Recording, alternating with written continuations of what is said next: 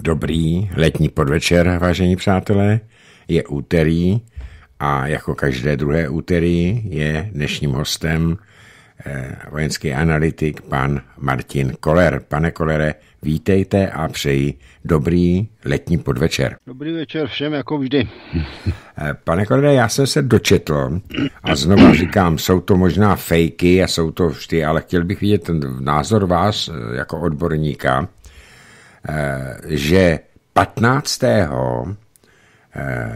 Půdejně to vyšlo od někud z nějaké spravodajské služby ve Spojených státech, jak říkali už půl roku, že Rusko napadne Ukrajinu, nakonec to přišlo 24. února, takže 15. bude vyhlášen, vyhlášena Ukrajině válka a to čeká se jenom na to, zdali OSN, Evropská unie, další organizace poslechnou návrh Vladimíra Zelenského, aby bylo celé Rusko, Ruská federace, označena jako teroristický stát.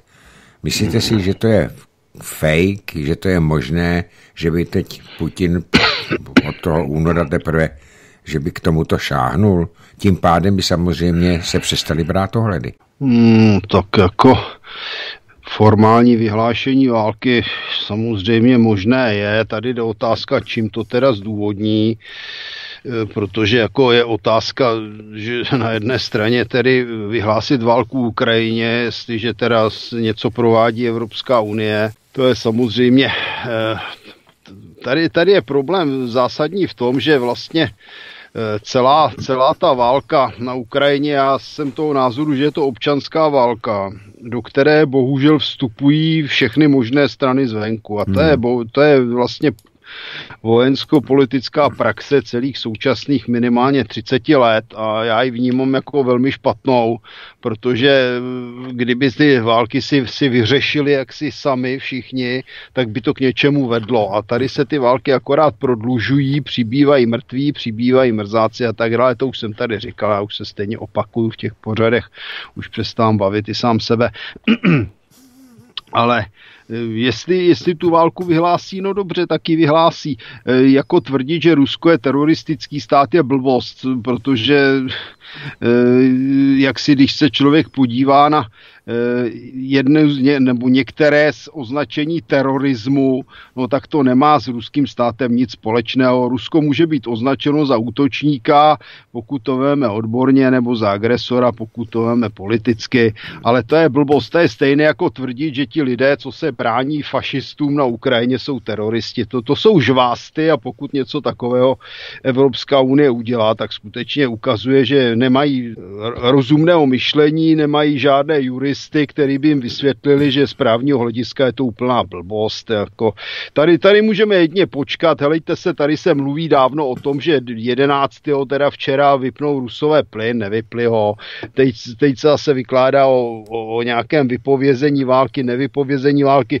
Dobře, no tak když tu válku vypovědí, co se změní? No, já nevím právě, já se to ptám vás, protože eh, já jsem... No, já tam... nejsem právník, že jo, já jsem voják a de facto ta válka tam je, eh, tam záleží velice na úhlu pohledu, tam se bojuje, jsou tam tisíce mrtvých, no. Eh, takže jako oficiální vyhlašování to je sice moc hezké, já, když se tak prohrábnu v historii, vyhlašovali oficiálně válku američani, američani Afganistánu nebo Iráku, nebo Evropská unie Mali, nebo co si vzpomenu ještě nějaké staré, staré akce, třeba, já nevím, američani na Grenadě, tam nikdo válku nevyhlašoval a bojovalo se tam, likvidovali se tam politické režimy, takže ono to vyhlášení války je taková velice, velice záležitost k ničemu. Možná Rusko vyhlásilo válku Finsku, v podstatě nespravedlivě, že jo, mm. před druhou světovou válkou. Na druhé straně Hitler přepadl sovětský svaz eh, bez vyhlášení války, stejně jako přepadl, přepadl Francii a tak dále. Takže ono to vyhlašování války je hezká věc, ale bohužel eh, mnohdy mnoho států se naučilo eh, začínat válku bez vyhlášení, protože jim to skýtá, byť teda nevelkou výhodu překvapení. Jestli jako teď vyhlašovat válku ex post, hmm. jako ne, nedává to moc smysl, počkám si, jestli to bude, počkám si, jak to bude zdůvodněno, vykládat to Rusku, že je to teroristický stát, je blbost. Jestli můžeme mluvit o teroristickém státě, tak je to, tak je to v zásadě Ukrajina, ovšem jenom s tím svým současným režimem bych doplnil s tou politickou reprezentací, jo, protože to bychom museli tvrdit, že všichni Rusové jsou Ukrajinci nebo všichni um, Ukrajinci jsou teroristi, teda pardon a tak dále, to, to je přece jedna blbost vedle druhé. Eh, taky jsem se eh, dočetl, je to i na oficiálních eh, mainstreamových médiích, že se uváží, jako uvádí, že už je několik komand, které by měly zlikvidovat Vladimíra Putina. A k tomu bych věřil. Dokonce se na to už ptali i děti na nějaké, na nějaké dětské debatě o, o té válce, kdy konečně už zabijou toho Putina.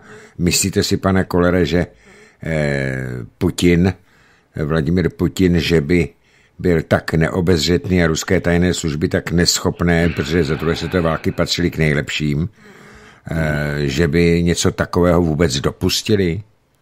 No, tak já to nevidím, dopustili, dopustili zrada je možná vždycky, jak říkával Stalin, každý má svoji cenu, že jo. Jako nepodceň, nepodceňme globální lichváře, jejich finanční možnosti a nepodceňme úroveň možnosti zrady kdekoliv i v Rusku. Tady bych jako to pře, nepřeháněl s optimismem.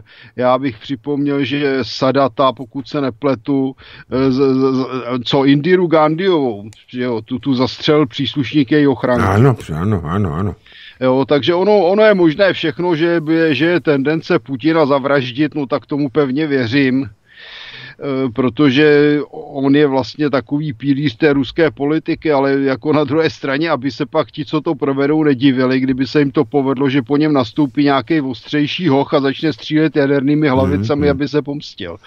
Pak by to bylo docela zajímavé, jo, protože představa, že by se tam zmocnila vlády nějaká opozice, to je naprosto pubertální záležitost. Nedávno se dělala anketa v Rusku a 76% obyvatel chce, aby byl Putin eh, prezidentem i v dalším období období a to nepřátelství Rusů k Evropské unii, k NATO je, je dneska tak silné, že nějaká politická opozice, která by hlásala kapitulaci, no ta by špatně dopadla. Eh, další věc, dneska jsem se dočetl, že už i na Vladimíra Zelenského prý byly zlikvidovány tři pokusy o jeho odstranění, takže ty eh, pokusy tam někde jsou. Ale no druhou... jo, dobře, tak ale co o tom víme? Nevíme o tom nic, nic že jo? To může být taky propaganda, která z něj má dělat hrdinu hmm. ze šaška, takže to, to, tady těch možností a výkladů je zase plno. Možná, že ho skutečně někdo chtěl dělat, můžou to být klidně ruské tajné služby, můžou to být naštvaní Ukrajinci, kterým, s kterým nemají chuť se nechat kvůli takovým zmetkům, jako je on a Kolomojský a Porošenko a další lichváři zabíjet. Mohou to být nespokojení důstojníci, vojáci, kteří zjistili, že, že, že, že vlastně slouží lumpům, e, nakonec e, i Zelenský může být nahrazen ještě něčím horším, že jo, hmm. Mitro hmm. Jaroš třeba, že ano. E, Zelenský potom prohlásil také, že pokud mu Západ dodá víc a těžších zbraní, v podstatě útočných zbraní, takže tu válku vyhraje, protože je schopen postavit do zbraně milion lidí, milion mužů. Tedy i žen no, no samozřejmě. No, tak to by mohl Putin prohlásit, že může postavit pět milionů lidí. Že jo? Mm-hmm. Když to vezmeme prostou aritmetikou, tak eh, v mírové době lze postavit do zbraně zhruba 1% obyvatel, což teda v případě těch asi já nevím, 20, 25 milionů lidí, co zbylo na Ukrajině, hm, tak to by asi nebyl milion, to mi vychází na nějakých 250 tisíc. No a to teda, jako bych řekl, že už asi v té válce byli a už asi nemá kde brát, jo? tak možná, že když povolá do zbraně malé děti a babky v důchodu a dětky v důchodu, ty už tam tahají teď, tak možná by postavil těch 250 tisíc, ale ty už dávno nemá. Hmm, jo, hmm. To jako někde, někde se objevilo dokonce i snad to bylo i na seznamu, že se nějací američtí odborníci vyhádřili, že Ukrajina má desetinásobné ztráty v mrtvých ve srovnání s Rusy, no tak to je samozřejmě katastrofa. Oni tam uváděli, že Rusové mají asi 6 tisíc padlých a Ukrajinci 60, to teda je podstatně víc, než jsem čekal i já, musím říct. Jo. Mě to docela překvapilo, tyhle odhady. Ano, já jsem to také Ale, četl. No, takže jako to, to jsou velké řeči. Já se obávám, že Želeňský není schopen postavit a, a ani polovinu té armády, co měl, co měl před válkou, nehledě na to, že už vůbec nedá dohromady tu kvalitu protože tam jako byli nejtvrdší ti azováci, což teda byla banda zločinců hmm. samozřejmě, ale na druhé straně to byli jako nejtvrdší bojovníci, no a ty jsou z velké části buď mrtví nebo zajatí a ta původní, řekl bych, kádrová ukrajinská armáda, no ta už je taky z velké části po smrti. E, takže ta kvalita, kvalita klesá a klesat bude jestliže nemáte lidi, no tak dobře, no tak bude mít každý Ukrajinec dva tanky a co s tím, když je nebudou mě ani řídit? Eh, já jsem taky četl, popravdě řečeno bylo to eh, z ruských zdrojů, protože internet se přece jenom dá ještě eh, napojit na ruské zdroje, na, na jejich, na jejich ty alternativy, tak oni tam psali o tom, že se spoustou těch amerických zbraní, například s těmi javeliny, oni je rozdají těm vojákům na té linii frontové a oni s tím neumějí zacházet, takže to radši prodají. tak to je možná trošku nadnesené.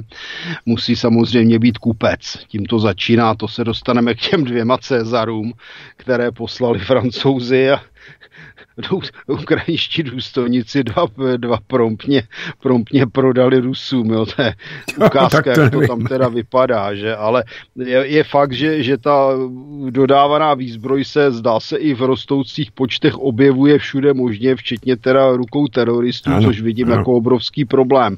Protože ten Javelin, na to už jsem myslím uváděl taky, že ten se dá použít nejen jako protitanková zbraň a zbraň, kterou se dá zaútočit na nějakou budovu, ale taky i proti letadlová zbraň proti vrtulníku, který je pomalý, nebo proti letadlu, které startuje nebo přistává, mhm. má nízkou rychlost. Takže to není vůbec legrace. Tady bych řekl, že si náš skvělý západ e, obrovskou materiální pomocí Ukrajiny zadělal na velký problém a navíc samozřejmě dodal Rusům technologické vzorky, protože ta kořist tam je. Takže obávám se, obávám, že podporou této války takzvaný Západ nezískal vůbec nic, spíš problémy. Možná, že si namažou kapsy někteří zbrojaři ve Spojených státech, ale to je asi tak všechno.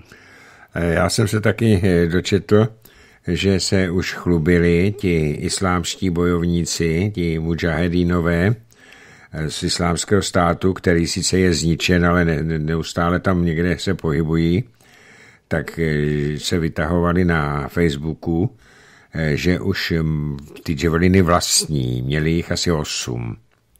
No já jsem, tak to říct, v podstatě první s tím přišli už před dobrým měsícem, možná dvěma, kluci na kasu zbyli, že ty jsou, to jsou velcí pátrači, no a ty, ty tam uváděli i cenu, která se tam psala, což bylo 11 tisíc dolarů hmm. za kus, což je jako velmi dobrá cena mezi náma.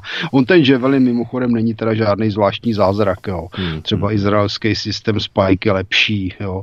A hlavně, a hlavně jako tam jsou problémy při tom přímém použití, takže údajně většina těch zničených tanků na Ukrajině není, není pomocí Javelin plynu, je to normálně pomocí pancéřovek. Ano.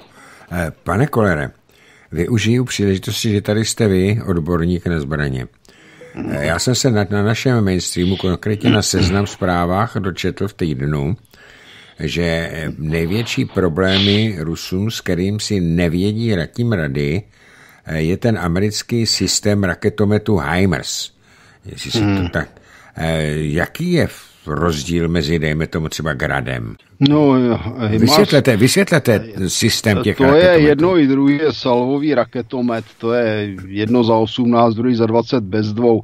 Grad je v podstatně starší, že jo, to je výrobek v podstatě poválečný, navazující na navazující na Kaťuše, i když ne zcela, protože Kaťuše měla, měla vlastně vedení raket po kolejničkách, zatímco Grad je má v rourách, mm-hmm. které má teda spirálové vedení, takže tam dostávají ty rakety rotaci. Aha, mm-hmm. Ale eh, takhle je to, je to dané tím, že ten HIMARS či HIMARS, to, já už jsem to snad taky tady uváděl, to je, to je vlastně následovník raketometu MLRS eh, amerického, který mm, je postavený, no to už je taky nějakých takových, to jsou někde z 80. léta.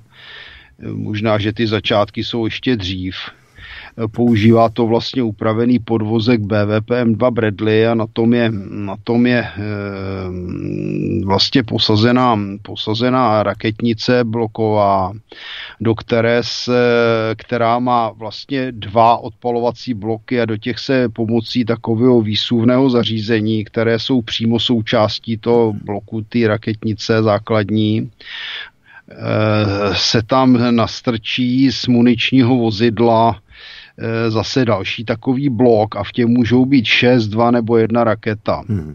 A ty se liší samozřejmě, teda ráží ty rakety. Eh, no a ten, eh, ten HIMARS se teda modernizoval, teda takzvaně spíš se odlehčil, protože ten, ten původní je pásák, že jo, když je na podvozku BVPM2 hmm. upraveném. No tak oni to posadili, oni to posadili na normální nákladní automobil, jako třeba je Grát, když jsme u toho.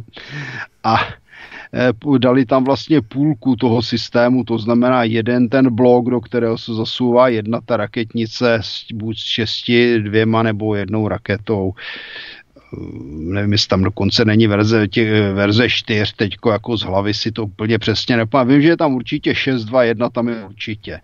Jo, a ty rakety se tudíž liší ráží, liší se dostřelem, liší se hlavicemi, tam je těch možností po vícero. E, pokud střílejí těmi normálními šesti raketami, ono to má asi 220 nebo 227 mm ráži, teď si to asi říkám na milimetr z hlavy, nepamatuju přesně, no tak to žádný velký rozdíl není třeba proti raketumetu Smerš ruskému. Mm-hmm. Ten Grad má samozřejmě menší hlavice, ale zase on má těch raket 40. Jo. Jo. Takže ten výsledný efekt je zhruba, může být zhruba stejný.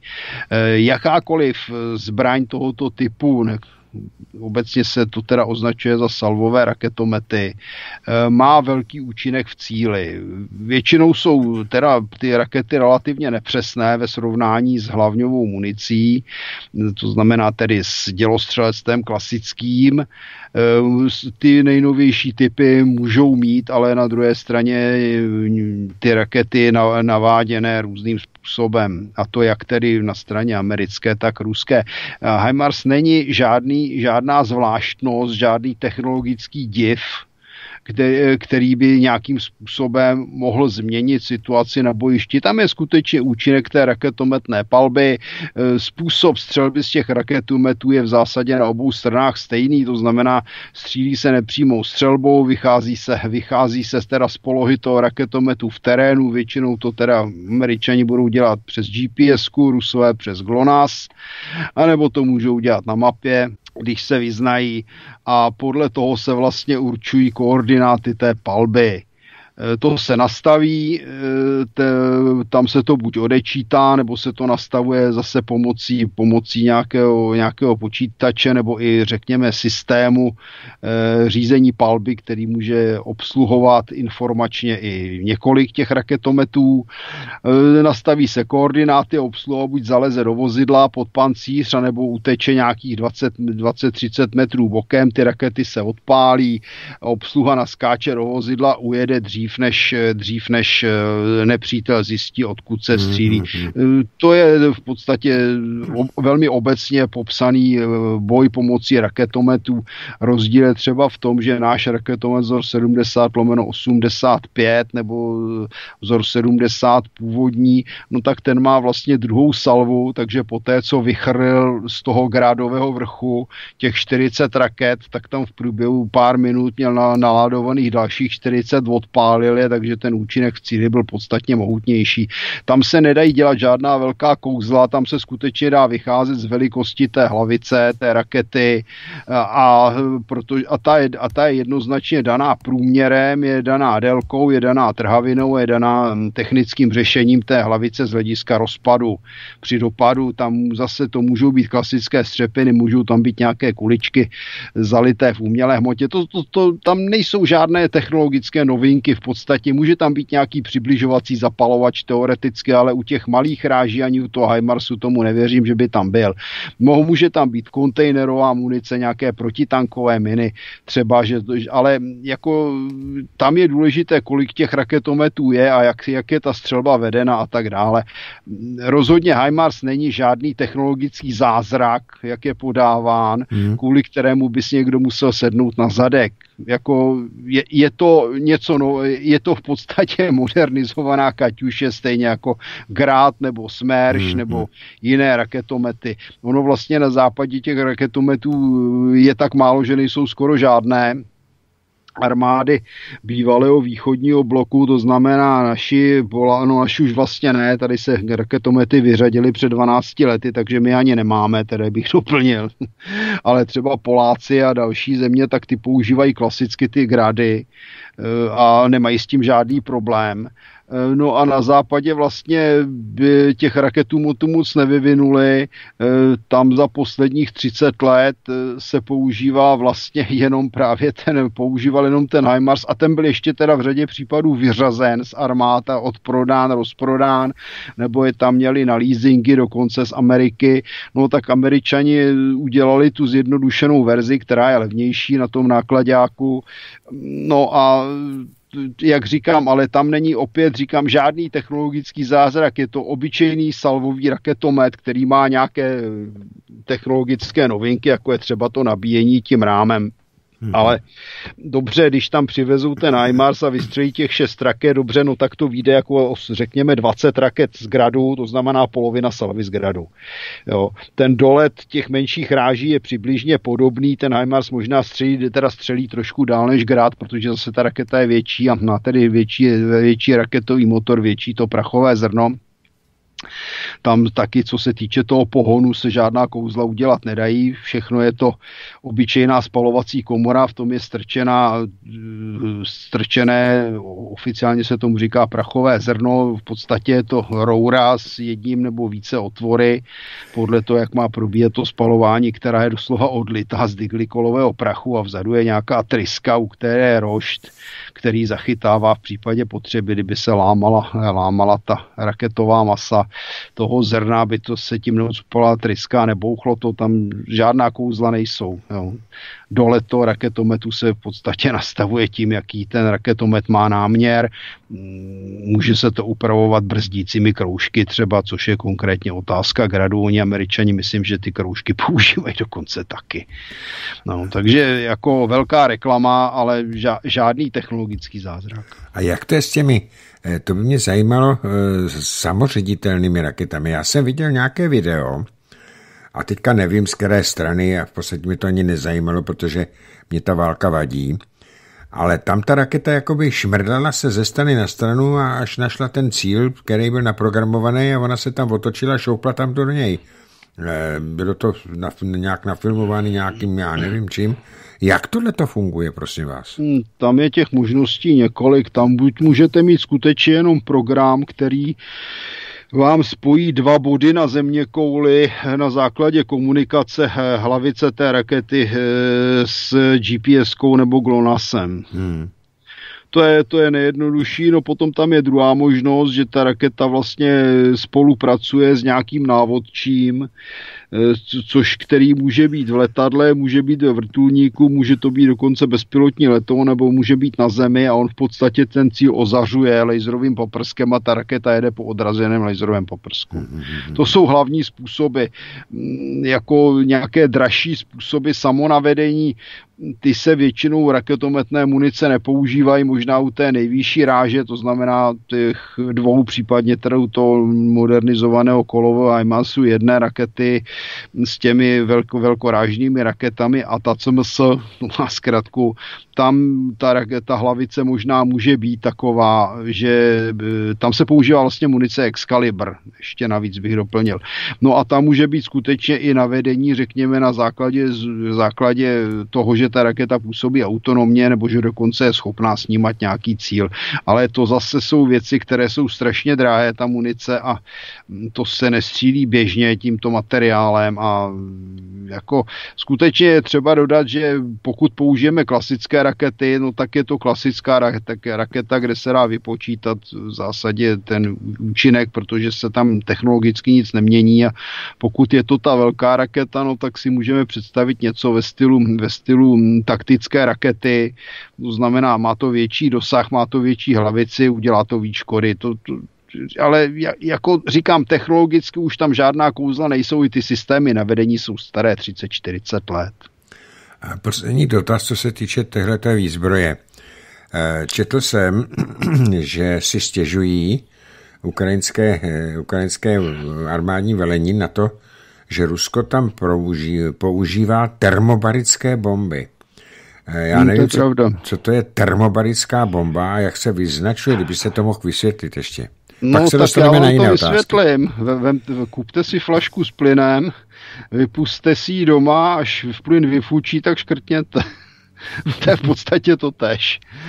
Jo, jako typický příklad termobarické bomby je mlín, jsou to výbuchy mouky ve mlíně. Hmm. To znamená, že, se, že ve vzduchu je rozpělený nějaký hořlavý, nejlépe teda co možno explozivní, čím více energetický, tím lépe materiál, ale skutečně docházelo k tomu, že explodovaly a mouka ve mlínech, zvláště teda jemná mouka, jo, to znamená hladká, případně ještě hladší, a když bylo rozptýlené určité procento ve vztahu k objemu vzduchu a kyslíku v něm, tak pak stačilo, když si mlinář nebo sládek zapálili fajfku a mlin bouchnul. Hmm. No a tady tam to je, teda není mouka, tam je v podstatě kapalina obvyklé v těch v té termobarické munici, mimochodem vyrábí se u nás, vyrábí to společnost STV. Oni to začali ve větším množství používat sice rusové, ale jako v poválečném období s tím první začali američani kteří to chtěli používat vlastně tu tlakovou vlnu toho výbuchu k odminování terénu. Ono to moc ne, ne, nefungovalo, ten projekt se jmenoval Miklik, tuším. A ne, nejedná se skutečně o nic jiného, než že do určitého prostoru je nějakou objemou, objemnou municí dopravena nějaká kapalina výbušná, ta může to být klidně benzín, ono to v podstatě je nějaká taková benzínovatá věc v jednodušších případech. Někdy to je jako žele a e, trhavina to rozptýlí při, v určitém výšce, nejlépe tedy v určité vzdálenosti nebo, na dote, na, na, nebo i na kontaktní zapalovačů menších typů rozptýlí to do vzduchu a tam a, a s určitým spožděním, teda když je to rozptýleno v tom vzduchu, tam to musím porozumět, že se jedná v podstatě o milisekundy. Hmm. No tak, je, tak tam dojde k iniciaci nějaké malé náložky, tato odpálí a ta tlaková vlna dělá svoje divy. No, je, Rusové to používali za války v Afganistánu, jak říkám, velmi úspěšně proti mujahedínům a myslím, že se to jmenovalo RPO a RPOA, ty raketomety, jejich to se střílelo jako panceřovka z ramené, no hmm. a dneska, dneska to mají tedy i na úrovni, na úrovni dělostřeleckých systémů. Ehm, a u nás, jak jsem uváděl, firma STV Group, no tak ta vyrábí vlastně hlavice panceřovky RPG-7 s termobarickými hlavicemi. Ku příkladu, to už je ale taky věc, která je známá takových nějakých dobrých 15 let možná. Co je vyrábí, dokonce se vyráběla nebo vyrábí, teď nejsem schopen to říct. E, myslím, že nevím, jestli to teda dělá MPI nebo STV.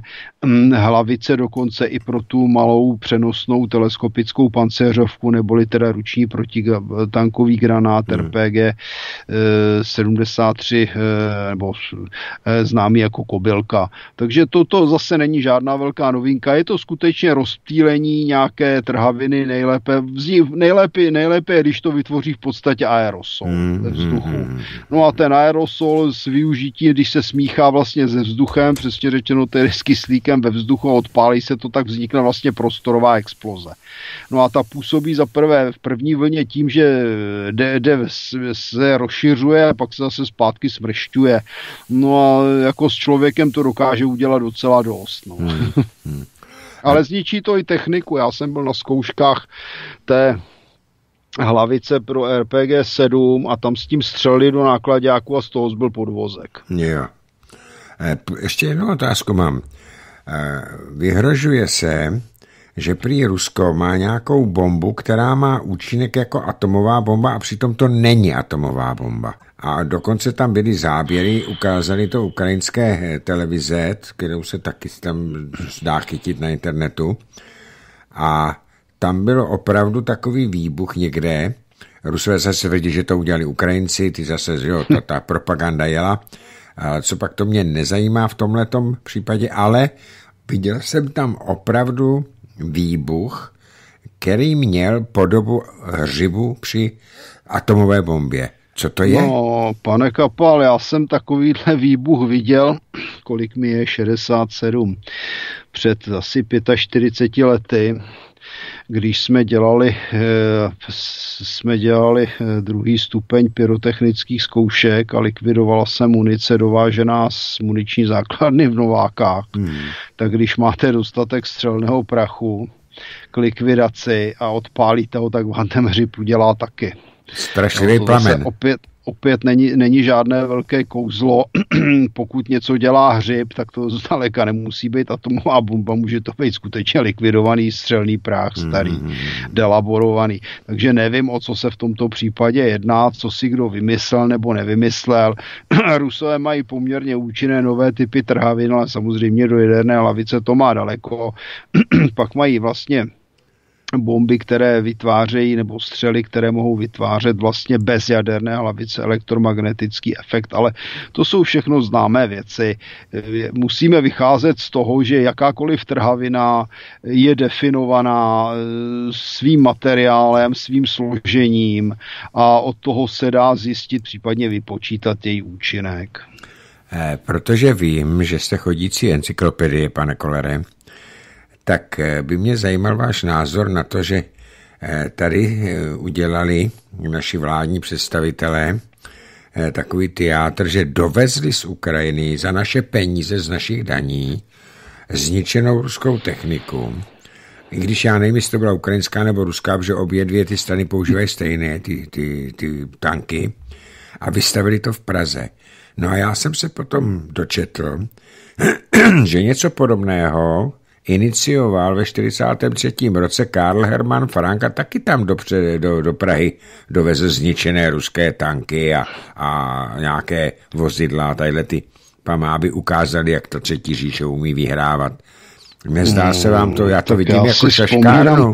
Na tu třetí říši, no těch výstavek bylo víc, že to byla výstavka o, eh, o ruském ráji, kde teda ukazovali, jak jsou na tom rusové špatně, což měli v zásadě i pravdu, protože životní úroveň v sovětském Rusku na těch vesnicích samozřejmě byla kus za Evropou, to se nebude si jim nic nalávat. E, potom, potom dělali výstavu o židech, ta byla taky velmi hutná, Podobnou výstavu mimochodem pořádali okup, němečtí okupanti v Paříži, ta byla tady ještě podstatně hutnější než ta hmm, pražská. Hmm, hmm jo, Francie pod vládou židů. No a co se týče těch výstavek ukořistěné vojenské techniky, těch bylo plno, tady si jako nemusíme nějak, nějak eh, brát servítky, to je šaškárna první třídy, co tady provádí pan Čižinský od Pirátů a spol. Mm, tam bych se jako eh, ani nedivil, kdyby udělali tu výstavu o těch židech, protože Piráti se představili tím, že chtějí změnit vlastně politiku naší, naší země vůči Izraeli, dosud přátelskou, mimochodem mimochodem od dob TG Masaryka, tak hmm. tady je vidět, co jsou Piráti zač, že jo, a v čích službách fungují, no, takže oni to budou určitě eh, vysvětlovat jako boj proti sionismu neboli antisionismus a ve skutečnosti je to samozřejmě špinavý zakuklený antisemitismus, takže i toho bych řekl, že se můžeme od této partaje dočkat, vůbec by mě to neudivilo. Ano, on se za to musel omlouvat prezident Zeman. No jistě, no. Ale faktem je, že to je, že to je přesně ta úroveň, to je politika, kterou, která bych řekl, že je pubertální. Já jsem toho názoru, že by možná neškodilo v případě eh, poslanců, senátorů, ale i řekněme lidí na magistrátech, že by měli absolvovat eh, velké psychotesty, aby se zjistilo, kdo vlastně je vůbec schopen eh, bezproblémově fungovat jako reprezentant státu, jako člověk, který ovlivňuje cizí životy. A já mám takový dojem, že takový lidé, je vidíme dneska na pražských magistrátech, jako je pan Čižínský, ty by asi měli problém, že by si zjistili, že jsou mentálně na úrovni nějakých pubertáků a rozhodně by neměli, neměli mít možnost se předvádět politice a měli by nejdřív něco dokázat v praktickém životě. No ale bohužel, jako co si lidé zvolili, to mají. No, to potom... Ale jinak, co se týče těch výstavek, abych pokračoval, hmm. když už jste to nakopl, no tak já si jich pamatuju po vícero. E, ta pražská ani nebyla tak slavná, větší měli Slováci, že jo, protože ti bojovali na straně třetí říše, tak v Bratislavě byla výstava ukořistěné sovětské techniky. Je velká škoda, že se teda ta technika nezachovala, jo, to, protože to by bylo pěkné kusy do vojenského muzea, hmm, musím hmm, hmm. říct. V Sovětském svazu byla výstava v Moskvě ukořistěné německé techniky, republiky. Eh, v eh, Londýně byla výstava sestřelených eh, německých letadel, takže ono už za války bylo takovýchto opičáren hodně, ale potom už se takovéhle věci moc neprováděly. Můžu připomenout teda, že v Rusku v Patriot Parku je poměrně velká výstava ukořistěné techniky islámského státu v Sýrii. Mm-hmm. Potom potom na Ukrajině, tam zase dělali výstavu eh, výzbroje ukořistěné vlastně opolčencům neboli těm, co bránili Donbass označovali to tam jako teroristickou výzbroj a tak dále. Takže to jsou takové spektakulární akce, ale většinou je dělají státy, které, které v té válce jsou. My v té válce nejsme, takže to je skutečně ubohá šaškárna. Je to oslavování zabíjení lidí a no je, to, je to hnusné, je to pitomé, je to pubertální a ukazuje to tedy úroveň eh, těch, které si naši lidé zvolili a řekl bych teda i těch, kteří tyto lidi volili. Eh, já jsem si, pane Kolere, udělal jednou čas a bylo to v době, kdy měl být pan Lipavský eh, jmenován a já se dívím, že ho prezident Zeman jmenoval eh, ministrem zahraničí. No, když je někdo vydíratelný, tak musí ho po, jmenovat do funkce a, ano. I, i prdelku našich sudeťáků, že? Ale představte si, že já jsem si vzal všechny státy Evropské unie na internetu, našel. Eh, plus Spojené státy, Kanadu, a velké jiho Argentinu, Brazílii. A my jsme jediný stát, který máme ministra zahraničí, který není vysokoškolsky vzdělaný a neovládá aspoň tři řeči. To všichni ti ostatní, co jsem se, já jsem to našel v tom internetu, já jsem tomu věnoval celý odpoledne jednou, jo. Takže my jsme opravdu máme takový unikát světový, že my tam dáváme mladého nevyzrálého kluka, a navíc ještě nevzdělaného a neoplývajícího jazykovou vybaveností. No, tak no ale to se umí dobře lézt do řiti. No, asi. to je, bych řekl, že jeho hlavní schopnost. Já myslím, že poslt, ten, by ho, ten ho určitě ocenil. Říkám, že je to posltova prdelka. No, no, asi jo. No, ne. takže jako, ne, to je, ale to je otázka celé naší politické reprezentace, to diletantství je úplně příšerné. Bohužel dneska to vidíme, ale i v té Evropské unii. Když jsem měl ten slavný rozhovor u Ivana Davida v té vinárně na americké mm. třídě, nebo ulici, No tak tam Ivan David říkal, a já bych řekl, že to je jeho, řekl bych, reálný postřeh z praxe, že úroveň těch lidí v Bruselu je horší, než je úroveň lidí v těch uh, národních uh, parlamentech. No to je něco strašného, teda když si to uvědomíte. Ale jak říkám, tady by stačila jedna základní věc, skutečně velké psychotesty, psychopat, blázen, nevyzrálý puberták, odjezdí něco dělat jiného a ne, nemůžeš ovlivňovat životy druhých druhých. Bohužel my se dostáváme tak daleko, že čím větší trotl a tím čím pitomnější puberták, no tak tím větší nadšení pro ně, aby teda eh, eh, šaškoval někde v nějakém magistrátu nebo dokonce v parlamentu. Jako skutečně mně připadá naše republika, že se mění v něco jako planeta opic. No, abych teda byl uh, objektivní, tak já jsem si zjišťoval to i u pana Hamáčka, No tak a... ten, jak známo, nedostudoval taky, že? Ano, ten jako měl střední školu případ. dokončenou. Možná proto se má tak rád s, s Jandou, který taky nedostalo. Všem je třeba hmm. říct, že podle názoru odborníků Janda je podstatně inteligentní než Amáček, jo. A můžeme si připomenout starostu z Reporí, že, který měl problém udělat maturitu, ano, nakonec můj údajně tatík Zaplatil, koupil. ano, ano, ano. No a známe i některé, kteří si dokonce vysokoškolské vzdělání vymysleli, že nebo nesplnili podmínky, nechci jmenovat mladého Bendu a a jediný, kdo to skutečně reálně pak opravil, byl Kalvoda, pokud si vzpomínám. A jo, takže takže ono jako takhle, ono inteligence není záležitost vzdělání, řekněme si to na rovinu, protože kvalita našeho školství je tak mizerná, že lec jaký zedník, když to řeknu na rovinu, který je vyučený, má lepší přehled a vyšší, může mít lepší přehled a vyšší inteligenci než člověk se současným vysokoškolským titulem, to je bohužel smutná realita a těžko s tím něco naděláme, protože naše školství se systematicky ničí 30 let, no tak hmm. jak, jak to může vypadat, že? Eh, pane Kolere, co říkáte na to? Eh, já se teda v první řadě vůbec divím, eh, že stanaři, když byli v opozici minulé čtyři roky v minulém volebním období, tak jim na té koalici vadilo naprosto všechno. Tam jim vadilo i to, že tam přišel člověk do sněmovny a nepozdravil. Ale teďka, co tak jsou jako u moci... kdybych přišel do naší sněmovny, tak bych asi taky nepozdravil, když vidím, co je tam za lidi. To bych si spíš odplivil, když to řeknu. No, no. A do Senátu tam bych snad ani nešel. No, tak já tam, tam bych taky musel ne. udělat něco ještě podstatně horšího. Eh, když bych šel do Senátu, tak bych se tam bavil jedině s Jardou Doubravou. Hmm, to je dost málo. Teda. No, je to málo, bohužel. Ale eh, teďka eh, to, jsem, to co, jsem chtěl, co jsem chtěl říct, eh, že jo. A přitom tam neustále kolik let tady házejí Babišovi na hlavu, že byl spolupracovník STB, že no to byli, byl, no a co, jako byl, takových je tam tak plno, akorát, plno že přes... oni to mají vyndané ze složek, ano. plno z nich a nebudeme se bavit o jejich rodinných příslušnících a podobně, nehledě na to, že je tady 30 let pryč a po 30 letech už je pomalu promlčený nacismus a fašismus a vraždy, to je trapné. Jako já bych řekl, že Babišovi se dá vyčítat eh, hodně jiných věcí, ale tohle je opravdu směšné. Směšný. To směšné, zvláště od lidí, jejichž, jejichž par, kteří se buď sami podíleli vydatně na bývalém režimu, nebo jejich rodiny, a nebudeme se bavit o kolaborantech z nacisty a podobně. To je účelová komedie, která měla právě zakrýt ty největší lumpy. Eh, je zajímavé, že nikdo neřeší, že Václav Havel byl agent STB hmm. s krycím jménem Profous, nikdo hmm. neřeší, že Halík byl agent agent STB a tak dále a trefují se jenom do Babiše. Já se Babiše rozhodně nemíním zastávat. On sám mě, když jsme se bavili spolu v tom jeho sporthotelu, tak mě vykládal, že on přece tím agentem nebyl a v té chvíli jsem jako o něm o, ztratil k němu veškerou úctu, protože hmm. za sebe dělá šaška.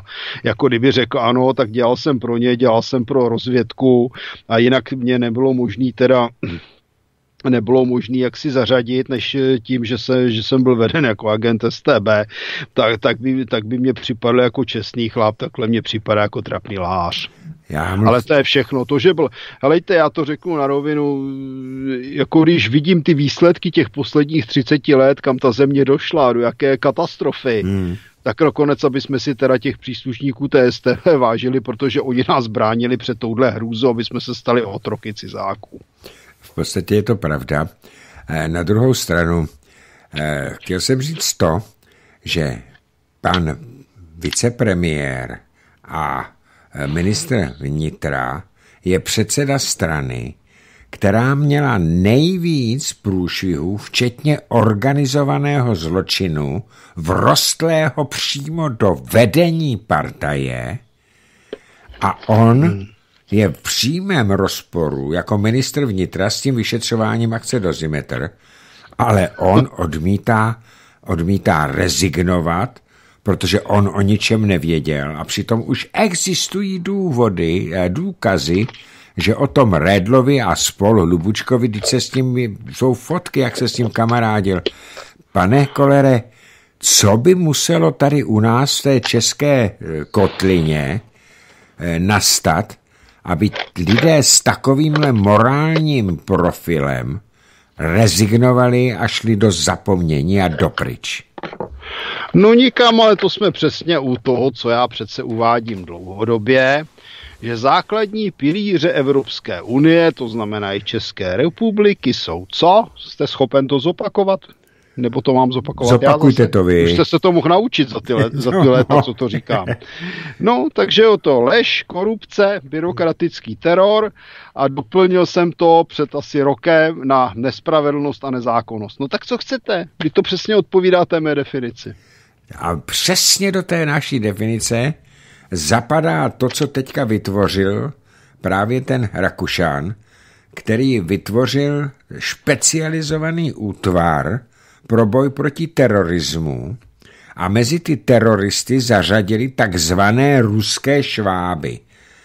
Jo, a Víte, Rus... jako jestli toto je takhle prohlašuje, tak je to přesně na ten psychologický posudek jo, na, to, na, to, na tu velkou psychologii celodenní. Já jsem to absolvoval třikrát nebo čtyřikrát mimochodem, protože se mi to museli mít k letectvu a já jsem dokonce měl, dělal i přijímačky k policii mimochodem. jo, a tam jsem ty testy absolvoval, ty velké psychotesty taky. A Jestliže se někdo takhle vyjadřuje, no tak to samo o sobě ukazuje, že ten člověk je úplně mimo, jak z hlediska teda vůbec úrovně jednání, tak z hlediska práva a tak dále. Jak, tady, tady jsme se dostali kam si, že skutečně to začíná připomínat 50. léta, kdy se lidé pronásledovali kvůli změně názoru, nebo eh, který nebyl patřičně nadšený pro Gotwalda Slánského a spol, nebo po roce 68, kdy se začaly dělat čistky a já se bojím, aby jsme se za chvíli nedostali spíš na úrovni teda v období 39 až 45, kdy opravdu tady zavládne nacistický teror a, a budou se lidé tero, terorizovat s tím, že jsou teroristé. Já bych připomněl, že Němci přece označovali jako teroristy naše parašutisty, hmm. kteří zlikvidovali Heidricha a jako teroristy označovali v mnoha případech české vlastence. Já mám takový dojem, že jsme zpátky, že kdyby si pan Rakuša natáhl, natáhl koženky a klobouk se štětkou a vydatně zahajloval, že by to přesně sedělo, sedělo k tomu, co teďko vytvořil. No, protože opět je to, opět se obávám, že se nám tady pod všemi možnými záminkami vytváří teror proti, proti občanům, kteří nechtějí, aby tato země byla úplně zničená, úplně rozkradená, zatažená do války, aby byla zaplavena lží s prostotou, uchylnostmi a podobně. Ale já mám takový dojem, že tato, tato parta, která tady vládne, na tom není moc dobře a když vidím ty výsledky, tak nakonec člověk, aby nakonec podpořil spíš i toho Babiše, protože to, co, to, co nám tady předvedl pan Fiala se svými banderovci, jak já je nazývám, hmm tak to je opravdu něco unikátního, to člověk jenom žasné. E, a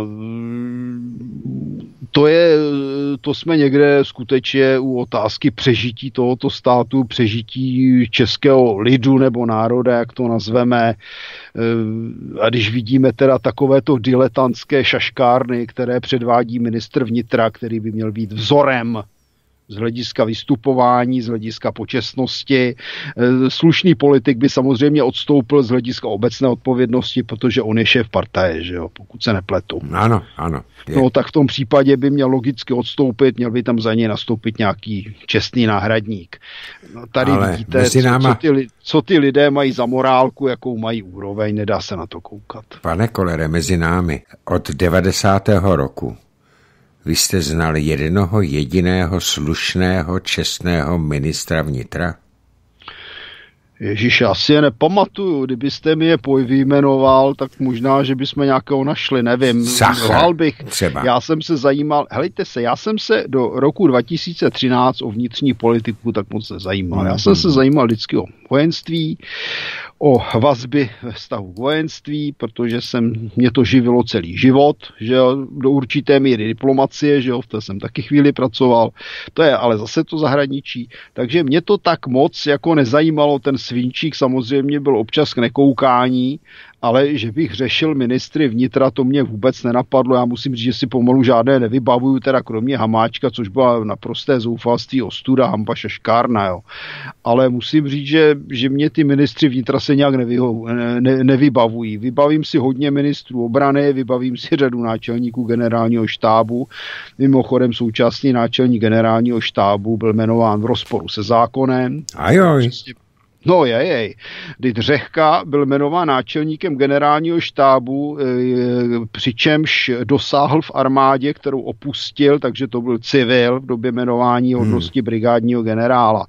Tak a na to, aby mohl být člověk e, jmenován do, do pozice náčelníka generálního štábu, musí mít hodnost minimálně generál poručíka, hmm. zatímco Řehka byl pouze, pouze brigádní hmm. generál. Hmm.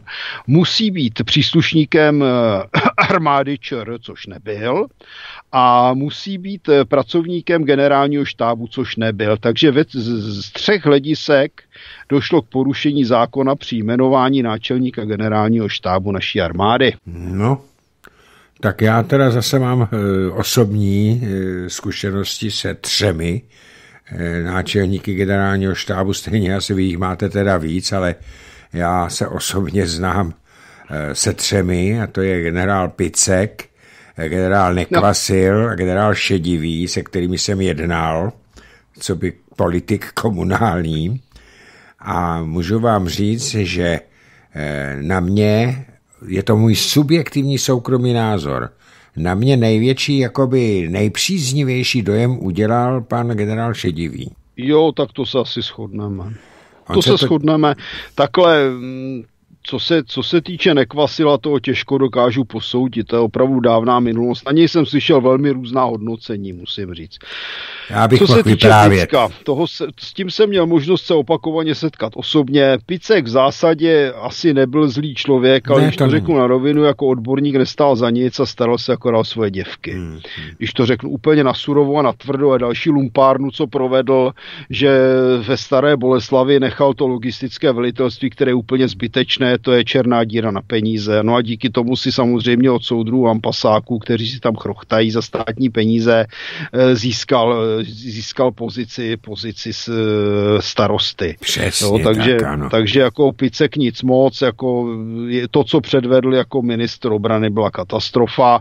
Řekněme, že nebyl úplná škodná, ale z hlediska personálního vedení ministerstva, no hrůza hrůz, jako šimpanz by to vedl lépe. E, šedivý bývalý tankán má dost rozumu, má, slušný rozhled a má dost rozumu, aby ze sebe nedělal úplnou idiota, i když někdy se mu to taky zcela nepovedlo.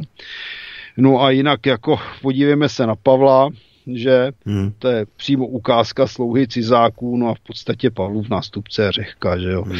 To můžeme začít, já si pamatuju jako inteligentního člověka, náčelníka generálního štábu, si pamatuju generála Karla Pezla, děda je teda ještě naživu, pokud vím, a to teda, byť to teda byl vlastně eh, poměrně nenáviděný nenáviděný 68, který měl blízko k Havlovi, tak já si na něj vzpomínám jako aspoň na člověka inteligentního, který byť byl neoblíbený, tak to nebylo vyložené hovado, když to tak řeknu, zatímco o některých náčelnících generálního štábu se to tež říct nedá. Kdo byl voják, byl, byl Števka, že jo. Hmm. To byl klasický voják, toho se zbavili, zbavili naprosto trapným a směšným způsobem třeba, že jo. Se Števkou jsme v kontaktu dneska, můžu říct. Já toho neznám, já znám jenom ty tři, co jsem říkal, ty znám osobně, s tím jsem no, jednal. Říkám, naše, naše divio mám taky kontakt, s ním se občas někde o sebe zakopneme na nějaké, na nějaké eh, akci, no tak on mě říká odborníku, já mu říkám generále. No. je, tak vy jste byl podplukovník, jestli se nepletu. Ano, přesně tak. Pane Kolere, eh, co říkáte na to, že teď se vracím k tomu, tomu, tomu pojmenování všech, kterým tady jde o to, aby jsme se nepodřídili té Evropské unii, protože i ona, a to řekli, tahle ta vláda řekli, že za dobu jejich trvání by měly být naplněn, co říkali Piráti, naplněn cíl Evropské unie v tomto mandátu, aby se zrušily národní státy a vytvořil se jeden celistvý evropský společný stát pod vedením Evropské komise. A ti, kdo se tomu brání, tak oni tomu říkají ruský švábové a považují je za teroristy. Prosím no, vás. Tak to jsou žvásty, které přesně ukazují mentální úroveň, který, který takto žvaní. No, To jako k tomu není co dodat. Jestliže se nadává kritice, zúraznil bych, že kritika vlastně vyzněla z původní židovské policie, tak, teda politiky. Říká se také židovská kritika, ale kritika je základ diskuze. A diskuze bez diskuze neexistuje demokracie.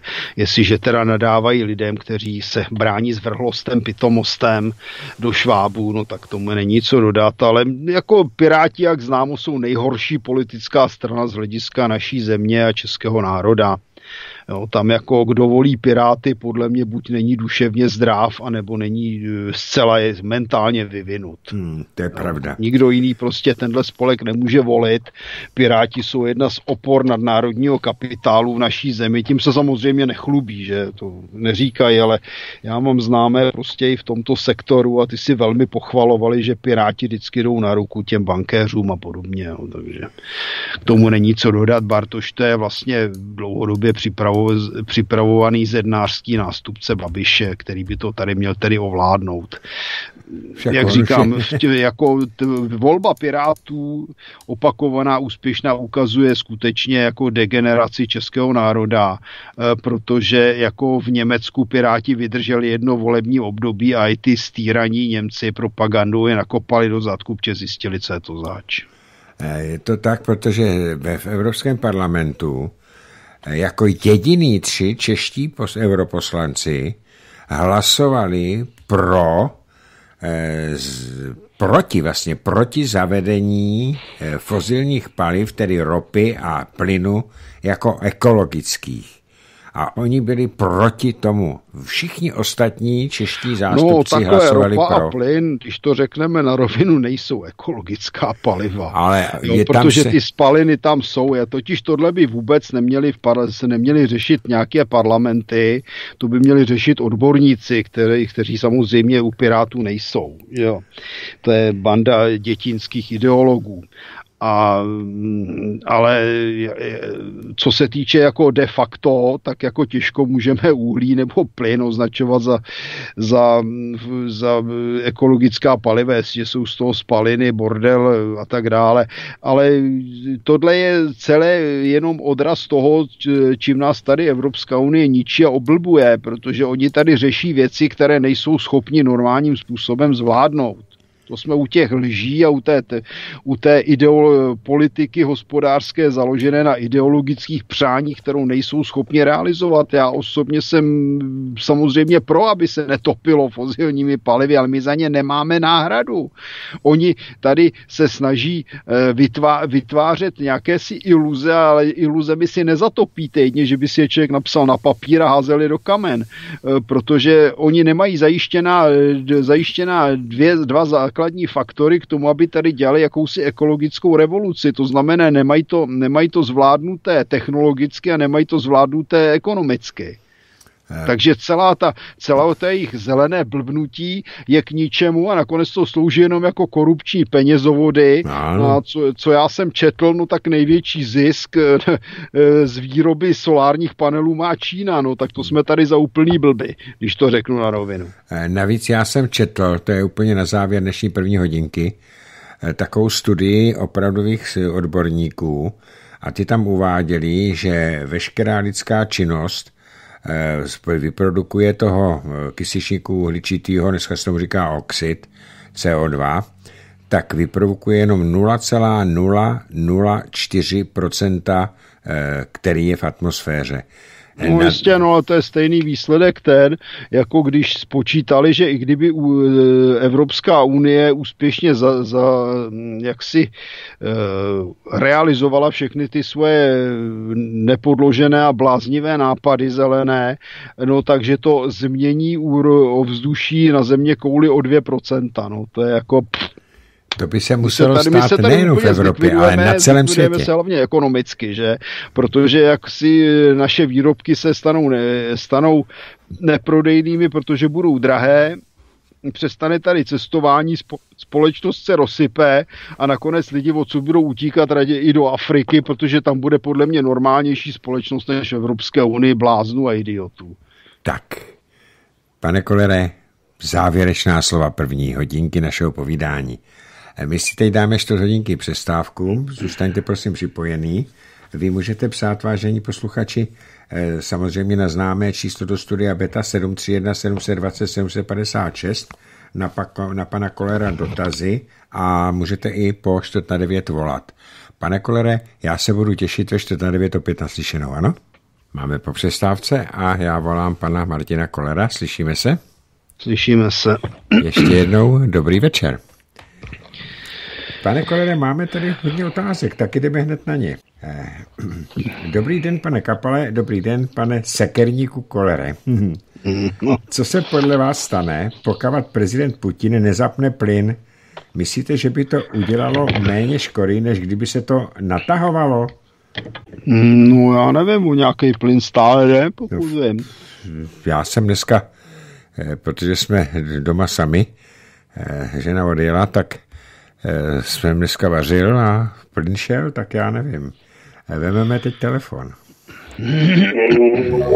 Stěžte si prosím rádio, dobrý večer. Eh, dobrý večer, pane Kapal. Zdravím vás z Moravy, pana Kolera a chci se zeptat na takovou situaci, která se teď jeví velice zvláštně. Pan Putin bude mít schůzku v Iránu eh, s iránskými představiteli a s panem Erdoganem. Jestli to může eh, pan, Kap, pan, pan Koller okomentovat, protože to se týká samozřejmě tedy Ukrajiny a celé té situace. Mm, tak to je, to je taková složitá hra. No. Eh, tady je otázka Rusko-Turecko Rusko-Irán a e, Turecko-Irán. Tady by asi měl přijít nějaký arabista, ale my jich moc nemáme. Ale navíc teda Iránci nejsou arabové, Turci taky ne, takže bychom měli mít asi nějaké odborníky na islám, no ty taky nemáme, máme tu spíš propagandisty islámu. Bohužel, tak daleko jsme to dopracovali. Takhle, ta, tahle schůzka, no tak to je strategická záležitost, že jo, protože tady se jedná o, spoj, o novou rezervní měnu světovou, kterou by se měla, měly zobchodovávat teda především ta fozilní paliva, která Evropa nechce, přestože bez nich nemůže existovat. Irán už je v tom vlastně zapojený, co bude s Tureckem, nevím, Turci to je takový zvláštní pro národ, podle mě ti to hrají tak, aby vždycky na všem vydělali ale každopádně, každopádně to není úplně dobrý signál pro náš slavný západ, protože Irán jako není žádný velkým přítelem západu. Je tam samozřejmě ta izraelská karta, protože Irán je velký nepřítel Izraele. Tím pádem zase se rosí, rosí čela Američanům protože v případě napadení Izraele Iránem by teda museli být na bojiště a ona je otázka, kdy Irán bude mít, nebo jestli už dokonce nemá jaderné hlavice, pak by teda bylo opravdu veselo. To je jedna věc. Z strategického hlediska je dalším faktorem, že Irán ovládá v podstatě věc do Hormuzské úžiny a tím pádem může do značné míry omezit export tamní ropy a plynu, případně i pokud tam jsou skapálňovačky. Takže to je strategická záležitost pro případ konfliktu. Vztahy mezi Iránem a Tureckem to je taky takové složité, protože Vlastně oba jsou to sunnické státy, eh, pardon, teda Irán je šítský, Turecko je sunnické, ale ono dneska, jak se zdá, tenhle ten zásadní rozpor padá a je, zase je otázka, co, k čemu a náč.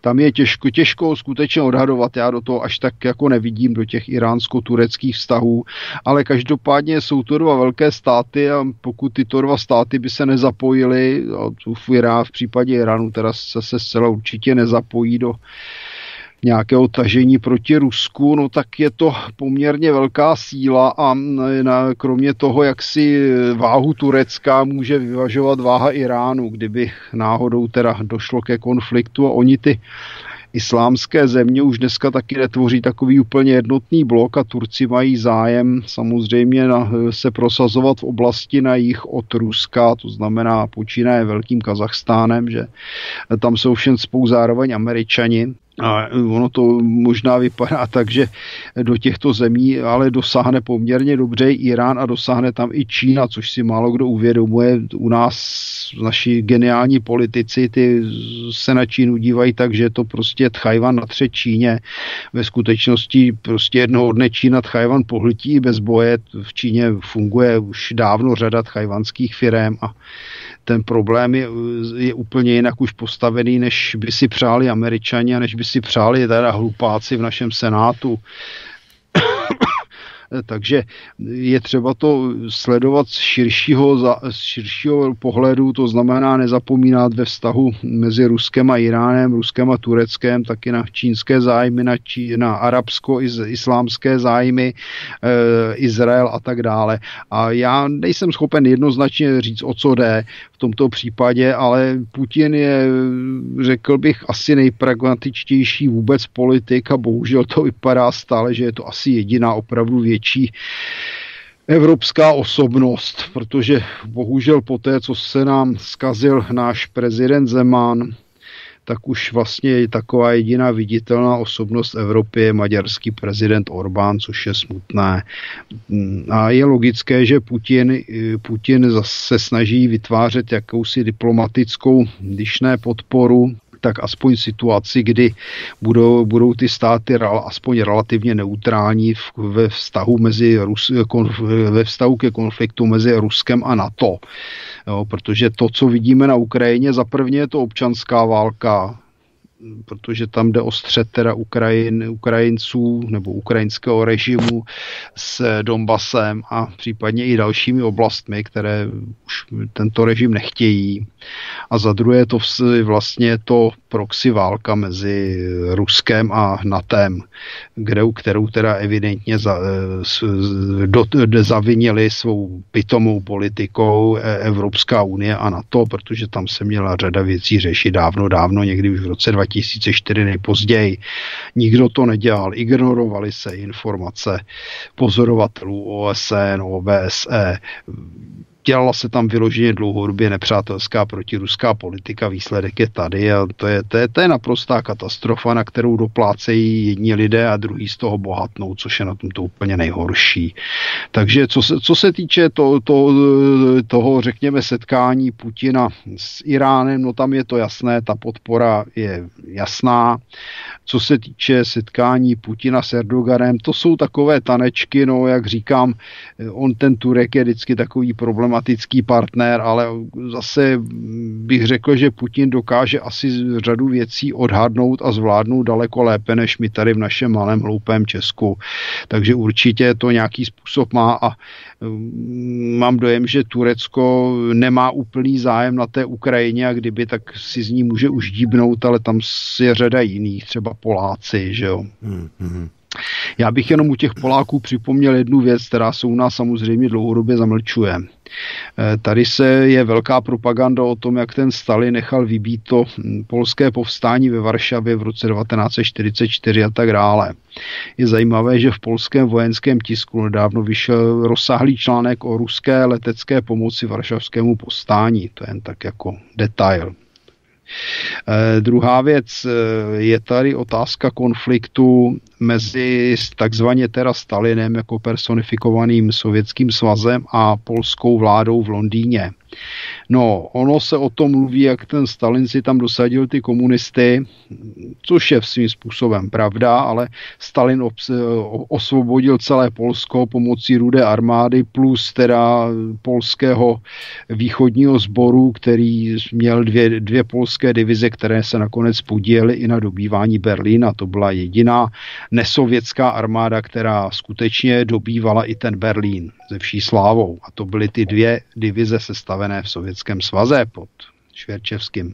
A, a je zajímavé, a dokonce to kritizovali i v americkém senátě a dokonce nakonec už na to nadával i Churchill, tak ta londýnská vláda, která se neustále teda prosazovala jako mm, zástupce celého Polska a o tom, jak říkám, nikdo ani necekne. V našich médiích, nepřečtěte si to v současných knihách, tak co jsem se dočetl?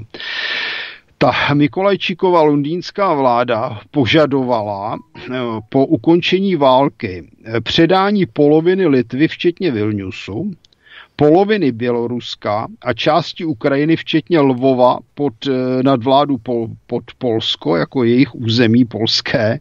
To znamená, že tam byla hrubě porušena dokonce i Kurzonova linie z 20. let. A ještě k tomu požadovali teda kus německého území. No na tom s tím samozřejmě mohl těžko Stalin souhlasit, jestliže mu někdo chtěl sebrat půl Litvy, půl, půl Běloruska a kus Ukrajiny, včetně Lvova. Tady by se měli teda skutečně ti hujeři v Litvě a v, na Ukrajině zamyslet, jak to je vlastně s těmi Poláky a co ti Poláci chtějí a co, co vlastně za tím jejich proti, proti ruským nadšením stojí docela obyčejný, jak já tomu říkám, holoprdelnický polský imperialismus. Eh, jinak, pane Kolere, já jsem dostal video z Polska, protože i v Polsku nás poslouchají lidi a, to, a u nás se to taky nikdy nepsalo.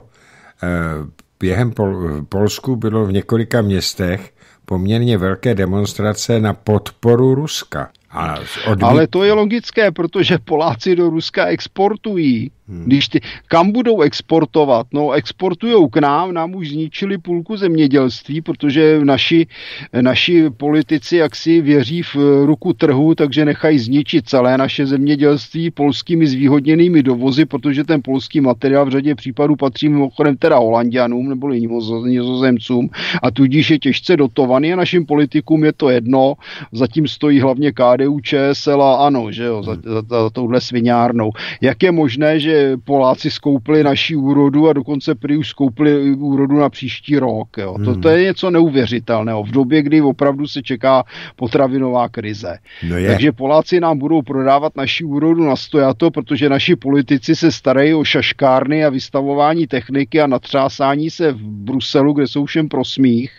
Jo, já jsem tam slyšel úžasnou věc, že Fiala tam žvástal něco o tom, že kdo bude mít plyn, ten se s těmi ostatními podělí. Tak jsem si říkal, jestli ten Fiala ale opilý nebo nafetovaný, nebo jestli úplně blbý při té svojí mm, akademické hodnosti a tvorbě a lezení do zadku posl, to by mě to a v zásadě ani neudivuje, ale to je úplná hrůza co tihle, co, co, co si tam vymýšlel, hlavně to, a to jsem četl dokonce i na našem slavném eh, Sorošovském seznamu, to jsem se zasmál, tam někdo slušně napsal, že Fiala nezaujal. Ono tam prý v tom jeho velkém projevu, tam půlka, půlka těch europoslanců ani nebyla v sále. No, Nejenom řekněme, půlka, tam že se potvrzuje, že se potvrzuje to, co jsem říkal, že je to obyčejný šašek, který je tam všem pro smích a je tam jenom proto, aby lezl do německého zadku, když to tak řeknu. S podporou samozřejmě těch šty, nebo čtyřkol té pětikolky a řekněme si i na rovinu i s podporou ano, že jo. Takže to, to když vidíme tu ubohost toho českého předsednictví, vidím, že to bude stejná ubohost, jako když tam byl Topolánek. Eh, jinak já jsem ten eh, projev viděl eh, na videu. Pane Kolere, tam bylo podle mého odhadu ze 720 poslanců Evropského parlamentu, tam jich bylo tak 60. Já jsem to tak odhad, možná, že se pletu, ale byl no tam tu, tu a tam. Jo, to za prvé. A za druhé o těch akademických hodnostech.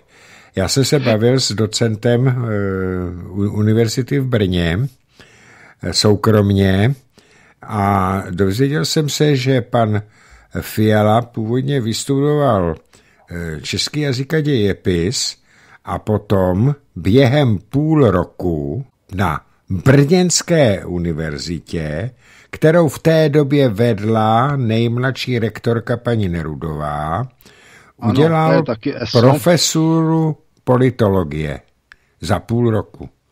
Takže ono to s těmi jeho tituly není zase až tak slavné. No jo, no tak to jsme ale přesně u toho, to jsme zase v tom socialistickém systému, kdy se urychleně studovalo a nakonec po listopadovém systému připomněl bych, že minister vnitra Ruml ano. absolvoval práva bez toho, že by měl maturitu, jo, což hmm. je teda opravdu úžasný výkon, a co si to ukazuje a o těch poslancích, kteří mají vysokoškolské tituly, které by měli mít a jiní mají sice tituly jakoby v pořádku a k tomu mají prázdné makovice hmm. a tak dále dále, je ne jako skutečně úroveň školství a vzdělanosti u nás prudce padá a není to vina učitelů, říkám to na rovinu, učitele jsou chudáci, kteří mají nízké platy, dřou je tam, dřou je tam jak dobytek, učitele odcházejí, protože kdekoliv jinde při, svém, při svých znalostech a inteligenci dostanou vyšší platy, takže to je úplná hrůza, co se děje v našem školství a opět nikomu to samozřejmě nevadí. Že? To je plánovatě, to je plánované po celém světě tohleto. Eh, mám tady další eh, sms Zdravím Svobodné rádio, moc velké poděkování za vaši práci. Pan Kapal, pan Koler a Stanislav Novotný. Moje extra třída. A moje tajné přání je, lidé, už se konečně probuďte. Díky, Michal z Brna. Takže my děkujeme všichni. Tam nebyla otázka, takže já zvemu další sms -ku jen co se tam k ní dostanu, protože se mi to teďka ztratilo. Tak, eh, dobrý večer, pánové. Děkuji za váš pořad a odborné názory pana Kolera. Chtěl bych se zeptat, eh, a teď je mu telefon, protože jsem teďka předtím vzal sms tak abych to střídal, tak já to potom přečtu. Tak teď ten telefon, dobrý večer. No, dobrý večer, tady je, no, představím se tentokrát jako Z, někde jménu mérem. No, jinak jinak eh, takhle, no, Libor z Vysočiny. A chci vám jenom říct jednu věc k těm šrotištím, těm výstavám. Jako postřeh jsem takovou jednu věc, já jsem samozřejmě na té výstavě nebyl, ale na těch záznamech kamer a tak, že jim tam chybí to nejdůležitější právě, a to z. Ať mi nikdo neříká, že prostě na, těch, na tom tanku rozbitým nebo nějakým pásovým vozidlem by nezůstal aspoň kousek od toho bílého vápna z toho z. Jo? A ještě by mě docela zajímalo, jestli by mě pan Koler mohl říct, jak by to dělal, když ustupuju do předem určených pozic a ještě potřebuju sebrat nějaký ruský tank, aby ho mohl pak vystavit. Jo? Děkuju moc a mějte se pěkně a Naschle. Naschledanou. No, oni ty, eh, takhle ty boje na Ukrajině jsou takové trošku zmatečné, takže tam samozřejmě ke ztrátám ruské techniky dochází. To je normální v každé válce, nedělejme si zase iluze, že tam Rusové celou dobu vítězí, zvlášť té původní fázi, když to řeknu na rovinu, toho stihli dost podělat a ty ztráty tam byly to, že se tam vystavuje nějaký tank, o kterém vlastně nevíme, jestli je ruský nebo ukrajinský, to je věc druhá, nebo jiná technika. Já bych to hlavně nechal těm organizátorům té výstavy tu dopravu zaplatit a pak bych jim to nechal navést na jejich baráky a pozemky, ať se, ať se o ten šrot starají, protože to je skutečně šaškárna téměř pubertální úrovně. My nejsme ve válce s Ruskem, jestli si to někdo nevšiml, tak tady je stále ruská ambasáda, naše ambasáda je v Moskvě, stále tady funguje funguje nějakým způsobem zásobování ruskými fozilními palivy a to, co se tady předvádí skutečně za posledních 30 let, ale hlavně teda řekněme za posledních pět let, to je ukázka neuvěřitelné upohosti, primitivismu. Skutečně někdy mně připadá, že naší zahraniční politiku snad dělají opice nebo něco takového, protože jinak se to nedá nazvat a v normálním státě by něco takového vůbec vzniknout nemohlo, ale jak říkám, říkám, co jsou základní pilíře Evropské unie. Lež, korupce, byrokratický teror, nespravedlnost a nezákonnost. Ono se samozřejmě každý ten bod dá rozvést výrazně, ale to tady vidíme v praxi a řekl bych ta nekompetentnost Eh, eh, která, která pak se projevuje v tom lhaní a té hloupé propagandě, ta je naprosto otřesná. Takže skutečně nevzdělanost, nekompetentnost, neschopnost, to, to, to, to je hrůza. Jako, kdy, kdyby jsme byli s tím Ruskem ve válce, prosím, ale my z žádné válce s Ruskem nejsme a podle mého názoru podporovat ukrajinský fašistický režim, to je normální špinavost a je to vlastně i porušení našich zákonů, propagace fašismu a tak dále, že podpora genocidy, protože to, tyhle genocidní tendence tam byly a dokonce tam docházelo k hromadnému vraždění lidí. Takže toto je hrubé porušování našich zákonů a nikoho to nezajímá, nic se neděje a vytváří se tady jakási politika lží, podvodů a podpory eh, doslova zločineckého režimu. Mám tady další sms -ku. Dobrý, ty zase jednu sms vemu. Eh, dobrý večer, pánové. Eh, dozvěděl jsem se, že chtěli české televize reportéři natočit eh, film o vilách patřící ruským oligarchům a když tam ti oligarchové z těch vil viděli ty filmaře, zavolali policii a policie jim zakázala ty soukromé vily oligarchů, ruských oligarchů natáčet, protože si to prý nepřejí. Tak kde to vlastně jsme? A jsme v té válce proti Rusku, anebo je bráníme? Ptá se posluchač Martin. Jak to vidíte vy, pane Kolere? Já nevím ani, že by tu nějací oligarchové byli, já vím jenom o jednom teda, někde u Mariánských lázní, že tam má nějaké prostory. Já nevím, co zase česká, organize, teda česká televize organizovala v rámci propagandy. Jo, to je těžko říct. Mně to připadá, jako když na té Ukrajině ukazovali ty, ty mm, údajnou vilu teda prezidenta Janukoviče a neukazovali vily e, Timošenkové, která měla majetek 6 miliard dolarů už v roce 2015. Jo.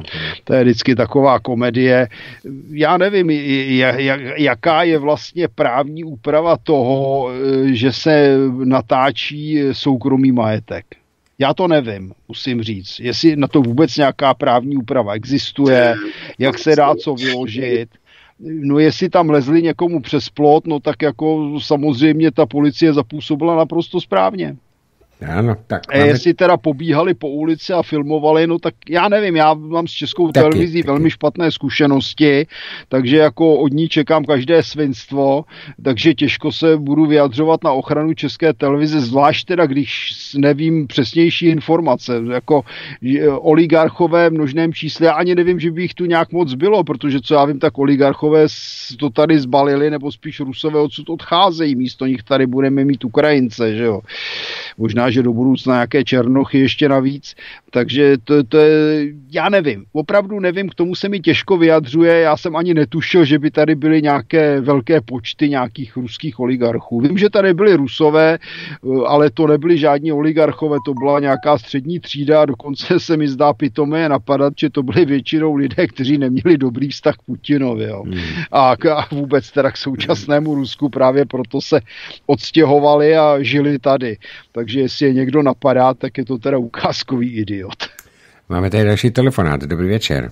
Dobrý večer, pane Kolere a pane Kapale, Zapletalova ze Zlína. Já jsem se chtěla zeptat, pane, pane Kolere, prosím vás, ten křižník Moskva, jak ho potopili, vy jste se bavili o tom v kasu zbeli, že by ho měli vytáhnout a zjišťovat, jestli teda ten, ta exploze byla zevnitřku nebo zvenku. Tak se chci zeptat, jestli už máte nějaké informace k tomu, nebo, nebo ještě nic.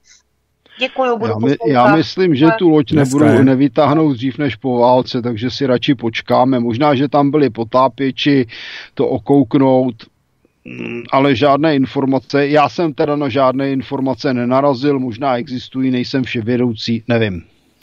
Já jsem právě, pane Kolero, o tom četl, že tam mm, potápěči eh, se k tomu potápěli, ale nečetl jsem nikde, že by se Rusové už to pokusili vyzvednout. Tak eh, jdeme na další sms Dobrý večer, pánové, děkuji za váš pořad a odborné názory pana Kolera. Chtěl bych se zeptat, kdy Česká republika a Západ přizná, že už se rozdal a nemá z čeho podporovat Ukrajinu. Děkuji za odpověď s pozdravem Jan Vávra. Řekl bych boží, boží idealismus. Oni přece si na to vypůjčí. A nebo si natisknou dál. No to je to samé, že tež, jestli ano. se vytisknou, vytisknou nekryté peníze, to znamená, že tady máme tu inflaci, že jo, no američani do toho chtějí věnovat 40 miliard dolarů, ale ten výsledek se stejně nezmění. Jako odborníci, nikoliv nějací žvanilové v české televizi se shodují na tom, že Ukrajina válku prohrála vlastně a nebo ji teda prohraje, tam není o čem, to jsou vyhozené peníze, no a ty peníze se od museli museli vzít, že hmm. no tak jako pak se budou muset někam vrátit. To je celá ta šaškárna kolem Ukrajiny, to je špinavý biznis nejhoršího řádu, když to tak řeknu. je to opět teda jsou to zase ti lichváři, především z Ameriky a tak dále a nakonec skončíme u těch lichvářů, kvůli kterým máme nejdražší elektřinu na světě protože minister Římán nastartoval nakupování naší vlastní elektřiny na Lipské burze. Babiš za 8 let to nedokázal odstranit, jeho minister to dokonce odmítl odstranit tím, že by poškodil zájmy obchodníků s elektřinou, takže pár lichvářů typu Křetínského, který tady obchoduje s elektřinou, je pro ANO důležitějších než eh, vůbec přežití voličů, včetně voličů ANO, teda protože tu elektřinu mají drahou všichni. No a co se týče té fialovy party banderovců, k tomu není co dodat. Ty budou poslouvat do roztrhání těla, vymýšlet si lži a výmluvy, aby z té lipské burzy neodešly. E, takže celkově té dopady té války na Ukrajině jsou katastrofální. Na tom vydělávají Spojené státy, na tom vydělává pravděpodobně i Čína a dokonce na tom vydělává i Rusko. Jediný, kdo skutečně prodělává, je celá Evropská unie, řízený pitomci a idioty, doslova bych řekl, z, z Bruselu, případně z Berlína. No a nejvíc na tom prodělává tedy naše republika, protože Ukrajina není členem Evropské unie, no tak my budeme ten, v, té, v té nejhorší úrovni. Já se obávám, že se u nás životní úroveň propadne někam na úroveň Ukrajiny díky tedy těm posledním vládám, ale samozřejmě tu závěrečnou ránu do vazu tomu dá teda ta parta banderovců pana Fialy. Eh, další telefonát, dobrý večer. Dobrý večer, tak Bogdan Sasovská, zdravím, perfektní pořád, perfektní borce. A chtěl jsem panovi Kolorovi říct, že teďka posledním kasu zbyli, tam říkali o tom Havličkovi, ten někdo z kolegů, ten Pepe nebo někdo na Slovensku, že Havliček, jako by oni nevěděli, co je zač. A on teďka strašně totiž točí ty videa, jako jaký je chudáček a všechno, a přitom on Eh, odmítl, jak se říkal správně, přechlukou eh, to odchod z té diské burzy. A teďka ze sebe dělá jako u, u, u Plakánka, u Božaka. Tak jestli to... No, dělá za sebe téměř, téměř ano. Eh, vlastence, no ale to je, kom, to je ano, typická takže, komedie, ano. Jo. Tam Babiš je schovaný vzadu a před ním poskakuje o šašci, především teda Havlíček a Šilerová, že a když je úplně nejhůř, tak vytáhne Nachera, který nebyl na žádné ministerské funkci, takže nemohl krást a dělat sviňárny ve, proti, proti teda tomuto státu a místním obyvatelům a je, je, je inteligentnější než většina těch Babišových poskoků. Jo, tak to je vždycky poslední, poslední Babišova ochrana je Nacher. Jo, ale uh-huh. jinak, co se týče Havlíčka, tam jako není co dodat. Havlíček nese plnou ano, odpovědnost za ten rekordní růst ceny elektřiny, protože on odmítl odejít z té lipské burzy. A proč? Zrovna tak tady máme Vytázkovou, že jo. Ta, ta se dneska e, rozdává rozumy, ale přitom za Vytázkové přece ta, to fungovalo, ten prodej elektřiny přes Lipskou burzu. Proč proti tomu nezasáhla jako šéfka energetického úřadu? Proč Vytázková povolá rozprodej vlastně těch trakčních sítí? Kdy to všecko jde za ní. Jasně, takže abyste to na, na to Slovensku ten klukům vysvětlil a děkuji panu Kafalovi, že je taky perfektní host, jako jste vy furt eh, jako vás přesvědčuje a vás nebude nikdy dost a nikdy se nepře, ne, nepřejíte. Takže dobrou noc a pevné zdraví a, a buďte s náma furt. Dobrou noc. Dobrou noc. Naschle. Naschle. Um, řekl jste plnou pravdu, pane Kolere. Paní Vytázková kandiduje na prezidentku a přitom tyto záležitosti si lidi neuvědomují že ona v té době byla předsedkyní ERU. Přesně tak. Tady mám zajímavou otázku. Dobrý večer, pane Kapale a pane Kolere. Měla bych otázku pro pana Kolera. Zdali ví, jaká zbraň byla použita na Usury při konfliktu s Čínou v roce 1968. Eh, děkuji, vaše posluchačka Romana. No, já mám takový dojem, že to je stejná, stejná taková sága, jako byl torpedovorec Eldridge, který hmm, údajně hmm. zmizel a nakonec to celý byl výmysl. Ano. Ono na té Usur je to podobné, tam jako se šíří různé fámy, jakýchsi podivných zbraní, které Rusové použili na Číňany, ale lidé, kteří jako byli u toho, ty říkají, že prostě Číňani byli rozbiti salvami z gradů. No. Hmm, tak hmm. si můžeme vybrat. Jenom připomenu ten když to byl ten filadelský experiment, jak směl se ztratit ten torpedoborec a jak se tam potom objevil a lidi byli vrostlí do železa. No a nakonec se ukázalo, že to jsou všechno výmysly. Ano, přesně tak. E, jdeme dál. Dobrý večer, ráda vás počúvam. Som zo Slovenska, ale Čechoslovačka a preto sa zaujímam o politiku i v Čechách. Myslím si, že nás EU účelově žene do chudoby a chce nás úplně zničit. Nedopadneme jako na Ukrajině? Já mám pocit, že už jsme na tom stejně. Hezký večer a děkuji za odpověď a děkuji no, za vás. ještě na tom nejsme, protože ještě nejsme ve válce, ale já mám dojem, že oni by nás do té války s chutí nahnali, protože je přece lepší, když se nechají povraždit, eh, povraždit Rusové, Ukrajinci, Poláci, Litevci, Lotyši, Češi, Slováci a podobní a hrdiní árijští Němci, kde, který mají pomalu třetinu obyvatel dneska všelijaké Černochy a Araby, hmm. o francouzích ani nemluvě, no tak ti budou sedět za bukem a povzbuzovat. to, a to by se jim samozřejmě líbilo. Faktem je, že teda ta, to ožebračení a zotročení těch národů na východ od německých hranic je neskutečné a za to můžou skutečně lidi typu Fialy, kteří nedělají asi celý život nic jiného, než posluhují cizáckým zájmům. Já jsem ještě dlužen, dotaz poslala eh, posluchačka Iveta z Československa. No, to je prima dit. Já jsem se taky narodil v Československu a vystudoval jsem taky v Československu, i když teda ten postgraduál jsem dělal už na půl. Ne, vlastně ten jsem taky ještě stihnul v Československu. No, nakonec studoval jsem na Slovensku a tak dále. Že, takže já se taky považuji za Čechoslováka vlastně je zahraničního prapůvodu, když to řeknu tak blbě, ale považuji se za zemského vlastence, protože tady jsem se narodil, tady se narodili moji rodiče, tady mají hroby a to je pro mě naprosto zásadní. No, já, já mám na to totež a ještě se tady narodili obě moje dcery v Československu, protože jedna se narodila v 68. a druhá v 72. roce. Tak, další dotaz. Dobrý večer, pánové, prosím. Neví pan Koler něco blížšího o Richtařově? U Výškova vypadá to, že se nejedná jen o vojenské lesy. Děkuji, Jana. Nevím nic. Taky jsem o tom nic neslyšel. Takže jdeme dál. Dobrý den. Americká revoluce byla také občanská válka a proxy válka Francie, Španělska, Nizozemí proti Anglii. Robert z Prahy. V zásadě má pravdu. No, v zásadě ano. Jo, jako když teda posuzujeme posuzujeme ty takzvané, takzvané eh, teroristy na Donbase, no tak ty nedělají nic jiného, než že povstali proti eh, zločinnému režimu, že jo, to jako kdy to mají nakonec američani mají i v ústavě právo povstat. Ano, a v podstatě no. o té americké revoluci za samostatnost, tak se nedělalo, nedělo nic jiného, než že poprvé hm, povstali ty takzvaní Jenkyové, proti Angličanům, Eh, no ale on tam si jednal ještě o jak jsme Nizozemská, Španělská i Francie, že jo, tam...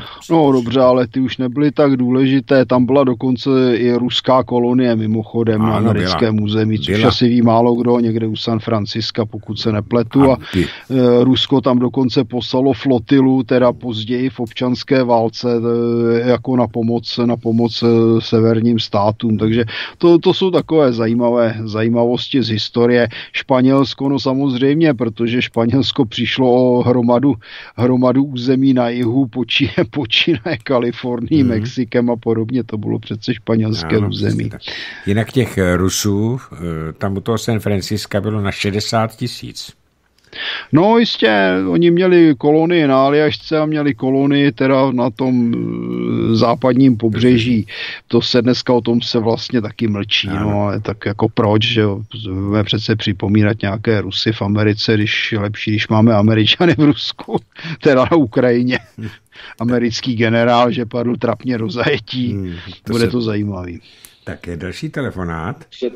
Eh, slyšte si rádio, dobrý večer přece připomínat. Dobrý večer. Uh, Sylvie Smutí. Stižte si nejdřív rádio, je to slyšet. Jo, jo, jo, jo, jo, jo. už jsem to vypla. Už jsem tak, to vypla. děkuju. Povídejte. Dobrý večer. Já bych se chtěla jen, jako chtěla bych říct něco k tomu, jak pan Kola říkal, no půjčíme si, vytiskneme peníze a podobně.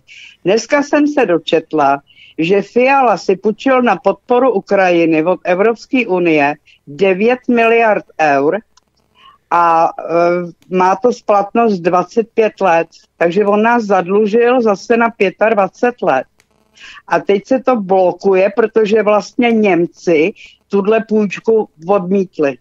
Takže my jak pitonci jsme si vzali a Němci, protože jsou vlastně, já bych řekla, takový ty vyčúranější, tak vlastně oni to teď Já budou bych blokovat. řekl ale my- inteligentnější, bohužel. No, ale my, Inteligentnější. dobře, ale my jsme, To my není jsme to tak, též. my, no, není, no, to je pravda, i když z Němců taky, taky toho víme dost, jako.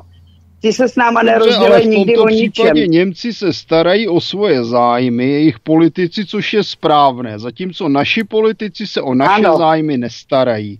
A je Ano. zajímavé, že Fiala to hrdinsky nevyhlásil, mávaje prapory, že si půjčuje na to, aby podporoval fašistickou kliku. Ano, a tohle to vlastně já jsem se dozvěděla až z webu, teďko, co jsem já teďko vlastně tady jezdila po webech, tak tam jsem se to dozvěděla, nikde jinde jsem se to nedozvěděla.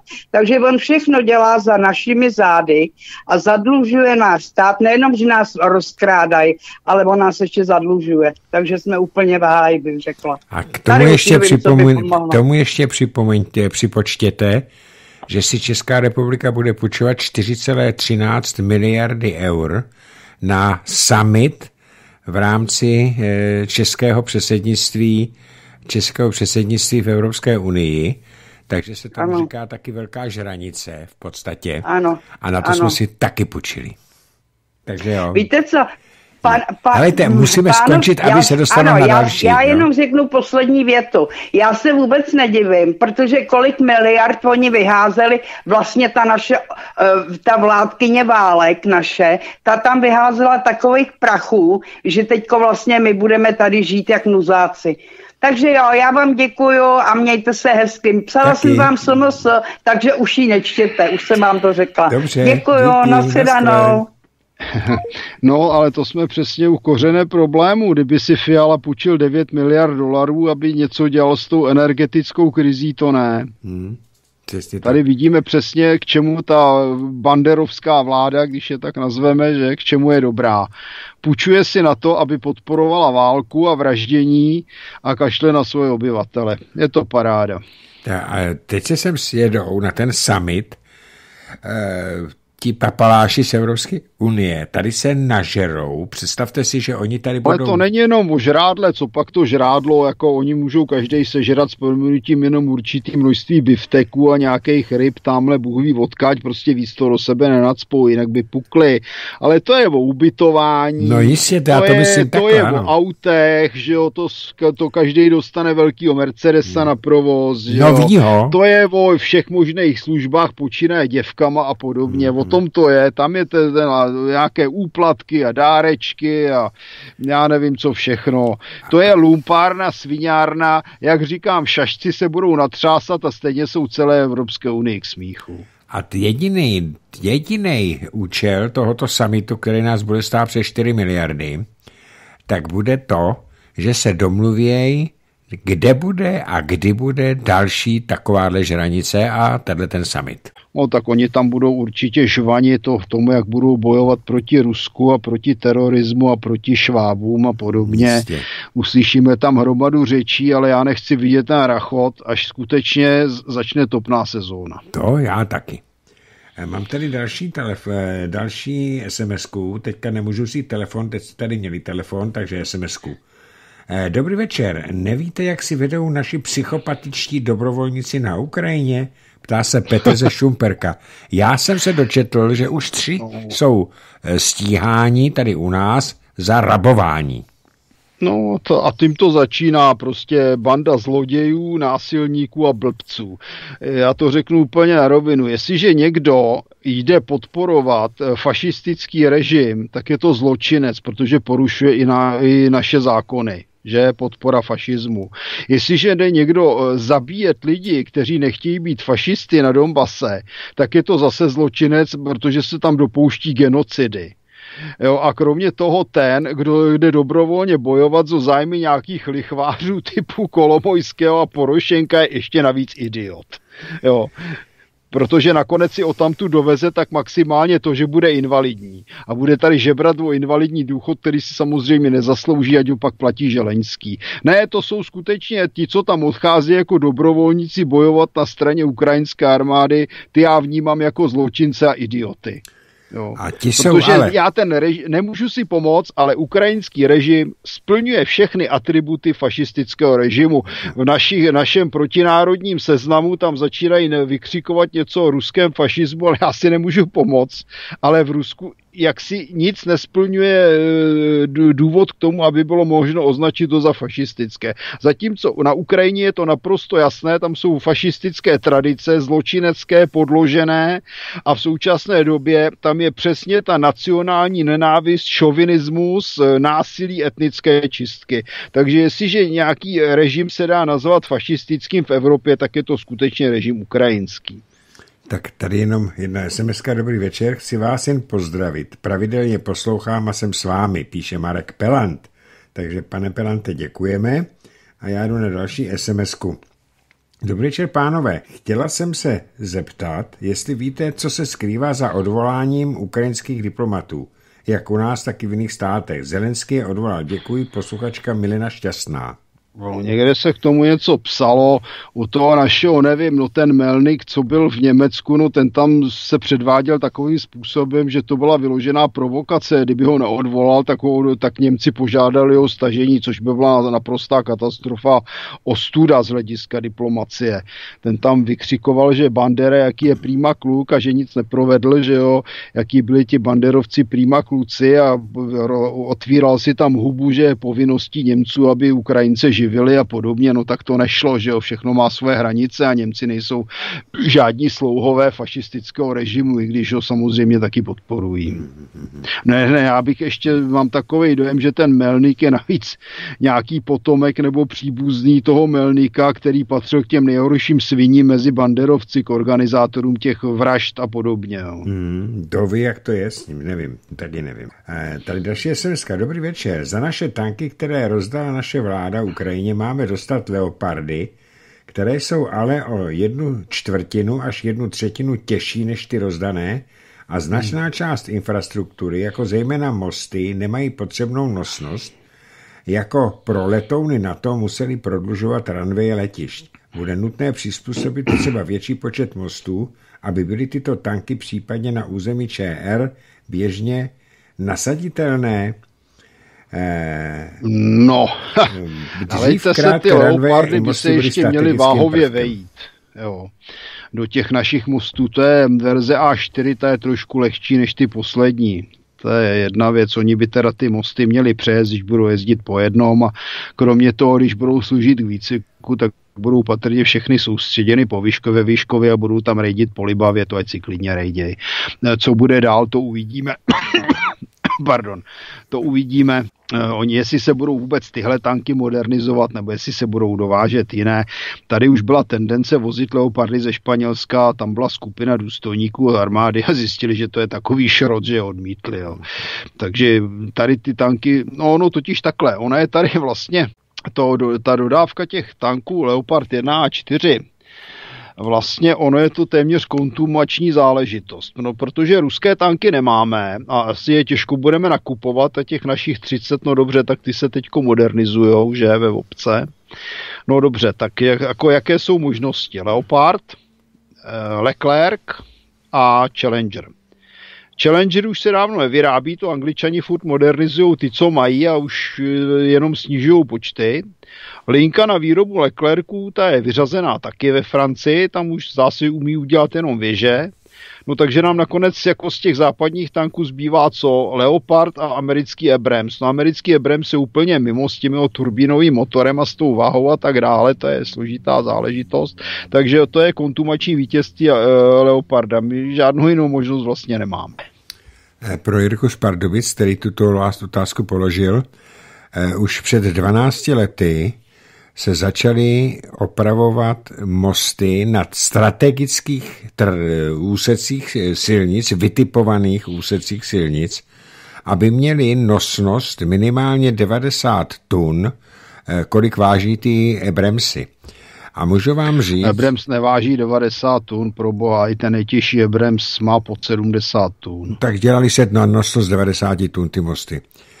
No, to když možná připočítáte podválník pod tím Ebremsem a vpředu tahač, tak to možná hodí těch 90. Já to vím proto, že já jsem o tom byl v zastupitelstvu, kde jsme v Brandej se museli opravovat sedm mostů, protože to je strategická silnice, pokud by nebyla v provozu dálnice, protože ve Staré Boleslavi v kasárnech je pravidelné noco, no, pravidelný nocleh těch amerických spanilých jíst a proto se ty mosty museli dělat.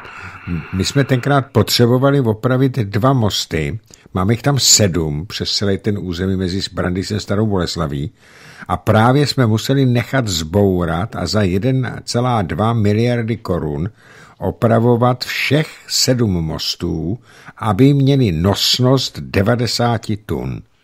Takže se likvidovaly i mosty, které byly naprosto v pořádku, právě protože to je rezervní strategická trasa z Prahy do Staré Boleslavy, kdyby byla vyřazená dálnice z provozu. Asi takhle. Hmm. To je ukázka, kam jsme to dopracovali. A já to vím, protože já jsem byl v tom zastupitelstvu a dokonce jsem byl ve výběrové komisi eh, na ty firmy, které to dělali. A bylo nám to nařízeno, jo? My jsme to nechtěli dělat jako město, ale bylo nám to nařízeno. Takže aspoň vidíme, jak e, ta samozpráva má své vlastní pravomoci. Tak e, vážení přátelé, pane Kolere, máme po deváté hodině. Já vám opět děkuji za velmi výživný pořád. Já se vždycky na ty vaše pořady těším a e, stejně jako veliké množství našich, já mám, našich Já mám zase pocit, že se začínám opakovat. Myslím, že si budeme muset udělat nějakou přestávku. Že si začínám připadat jak starý dědek, který mele furt to samý a no, stejně to, to nemá žádný hlas. Jenom taková malá informace pro vás. E, pořád, jak jste se tady bavili o těch e, zlikvidovaných biologických stanicích, na Ukrajině, na které se Rusové soustředí jako první, tak měl 400 tisíc sledování. To by mi mohl závidět lec, který dobře placený politik. Tak. A já to jako blbec dělám zadarmo. No, já, já taky. tak jsme dva blbci. ne, my to děláme kvůli věci. Ale jenom, abyste věděl a naši posluchači, eh, jak je sledované Svobodné rádio.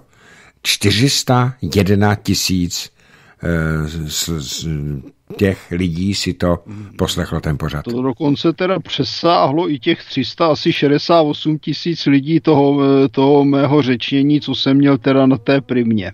Hmm, ano, to jsem se, to jsem se dočet na, na oficiálních teďka materiálech, takže eh, to je ověřené, to je z oficiálních materiálů. Tak jenom, abyste věděli, vážení přátelé, proč se mě snaží eh, dostat eh, mocí mermo do kriminálu, abych nemohl tohleto dělat, tyhle, tyhle, ten, tohleto rádio. A eh, mimochodem 28. tohoto měsíce mě osobně pan policajt tajnej přijel ohromným Fordem, takovým nějakým velikým, tím minivanem nebo vanem, byl tam sám, tak mě přijel osobně přivízt papír a Soně Zikmundové jako předsedkyni spolku, protože jsme obžalovaní a obvinění, takhle, obvinění jako spolek i jako jednotlivec na 28. července na 10. hodinu na centrálu toho ústředního UONCZ, toho ústřední centrála proti boji na organizovaného zločinu, tak se nás tam zase zvou na A to. co jste vlastně provedli? Eh, jako provedli, organizovaný zločinci. Provedli jsme, pane Kolere, to, že jsme si tady dovolili 2.7.2020 udělat pořad o Katyni, Aha. kde jsme, eh, při, kde jsme uvádli, uvedli eh, nově odtajněné informace z ruských archivů a vycházeli jsme i z mezinárodních archivních materiálů, které byly otajněny a vycházel jsem i z publikace tehdejšího evropsky významného patologa a antropologa profesora Františka Hájka, kterého Němci v roce 2040 eh, tam tahali. Víte, že tam byl Husák taky? To nevím, já jsem no, tam nečetl. v té delegaci byl za Slovenskou, republiku, za Slovenskou republiku, tam byl Husák. Tak pan profesor Hájek tam vyjmenoval všechny ty kapacity vědecké a museli tam podepsat to, co jim nadiktovali Němci. Takže to nepodepsal jediný a to byl významný maďarský patolog Orsák a pan profesor Hájek potom napsal v té publikaci, že už ho nikdy nikdo nikde neviděl. No a on samozřejmě přežil válku, protože to napsal tak, jak Němci chtěli. A okamžitě 12. května 1945 svolal vědeckou konferenci patologů Praž v Praze a mm, vysokoškolských profesorů lékařských, kde jim v krátkosti je seznámil se svými výzkumy a s tím, co musel podepsat. A na to sepsal publikaci, kde jasně v podstatě vysvětloval, že stav mrtvol neodpovídal době, kdy tam měli, eh, kdy tam byli rusové, ale odpovídal době, kdy byli rusové museli ustoupit a měli tam, eh, byli tam Němci. Takže on tam použil to, co řekl Josef Skála, že to byl majstrštyk Goebbelse, no a je taky mezi obviněnými. Co Hájek? Ne, ten je mrtvej. To no byl... právě jako... Ne, ne, ne, Josef Skála. No, to je ale, to je totiž jako tohle, to já nevím, jak chtějí vyřešit, protože jako Hájek byl mezinárodně uznávaný ano, patolog. Ano, ano. A to, tohle jako, já, já mně to připadá zase jako taková ta spektakulární akce, když se sem vozí vraky vojenské hmm. techniky. Hmm. Ježíš, to, to je tak, to, to, no to, to lhaní a ta komedie, to má tak ubohou úroveň, to by člověk zaplakal. Pane Kolere, jenom, že mě to stojí nervy, protože co si budeme povídat, hlítat furt za, za kriminálku jednu, druhou, třetí. Stojí mi to peníze, protože no, máme to právníky. Přece, aby vás otrávili, znechutili, ano, a ožebračili, ožebračili ano, a tak ano. dále a tím vás donutili držet hubu. Přesně tak. Jenomže dokud budu něco mít, tak mě tu hubu nezavřou. No tak mě zavřou asi, protože mi hrozí 6 měsíců no, až 3 léta, jako mi bylo budete, řečeno. Budete další z politických vězňů, podívejte se na Ivana Kratochvíla. No, Už se mluví o tom, že by se měl zakládat další VONS, že jo. Už ho založili, něco podobného. Jo, vy myslíte ten prak, ano, že jo. Ano, ano, ano. jako o praku vím, to je jako dobrá iniciativa, nemám, co bych dodal je to opravdu ostuda, kam jsme to za 30 let dotáhli. No, no ale tak takhle, jsou tady lidé, kteří plní úkoly, no a jsou tady lidé, kteří je plní aktivně. To jsme viděli vždycky, to jsme viděli za Rakouska, to jsme viděli za republiky, když někteří četníci stříleli do nezaměstnaných, no, to jsme viděli za německé okupace, že to jsme nakonec viděli po roce 48, různé ty zločiny soudní a tak dále, vyrovnávání účtů a sviňárny po roce 68, internacionální pomoc, no a další kolo bylo po roce 95 podrazy, sviňárny a tak dále. Jako já se obávám, že v této zemi je to úplně normální a ten rozklad morálky je skutečně děsivý, eh, hloupnutí obyvatelstva je děsivé a ty výsledky se samozřejmě dostaví. Já jsem jenom, eh, jenom bych si přál, až eh, my se teda budeme podle právníka odvolávat, odvolávat, odvolávat, až třeba do, Štrasburku, ale přál bych si jednu věc, až bude to soudní jednání, až budu mít ten soud, tak bych rád, protože to bude veřejné projednávání, kdyby tam byla plná ta, ta to hlediště posluchačů Svobodného rádia a dávali tam jasně, může stát lehce. jasně najevo svou nevůli. Tak. Takhle, dokonce i při té úrovni zdůrazňuji některých soudců, protože říkám, já mám zatím jako se s českými soudy dobrou zkušenost, ale že je všecko je možné. E, takže i při, té, i při tom, že teda by tam mohlo dojít k nějaké vyložené špinavosti, že by se spáchal nějaký doslova zločin. Teroristický. No ne, to jsem zrovna nemyslel, ale jako, že by tam opravdu některý ten soudce zapomněl na, to, na základní svoje povinnosti hmm. a odsoudil vás za to, za, za pravdu, no tak jako skutečně to bude dobrý, to by nemělo chybu a je to velká ostuda, hlavně for je v jiné věci. On se celý ten systém té Evropské unie, ty lži, špíny a zlodějiny začíná hroutit a jak známo, když se ty systémy hroutí, tak potom ty nejvíce aktivní příslušníky té státní zprávy na to doplatí. Hmm, hmm. Takže to bylo na závěr dnešního pořadu. Pane Kolere, já vám děkuji moc, že jste si na nás udělal čas a přeju vám, aby vám eh, krásně ubývalo, ubíhalo léto.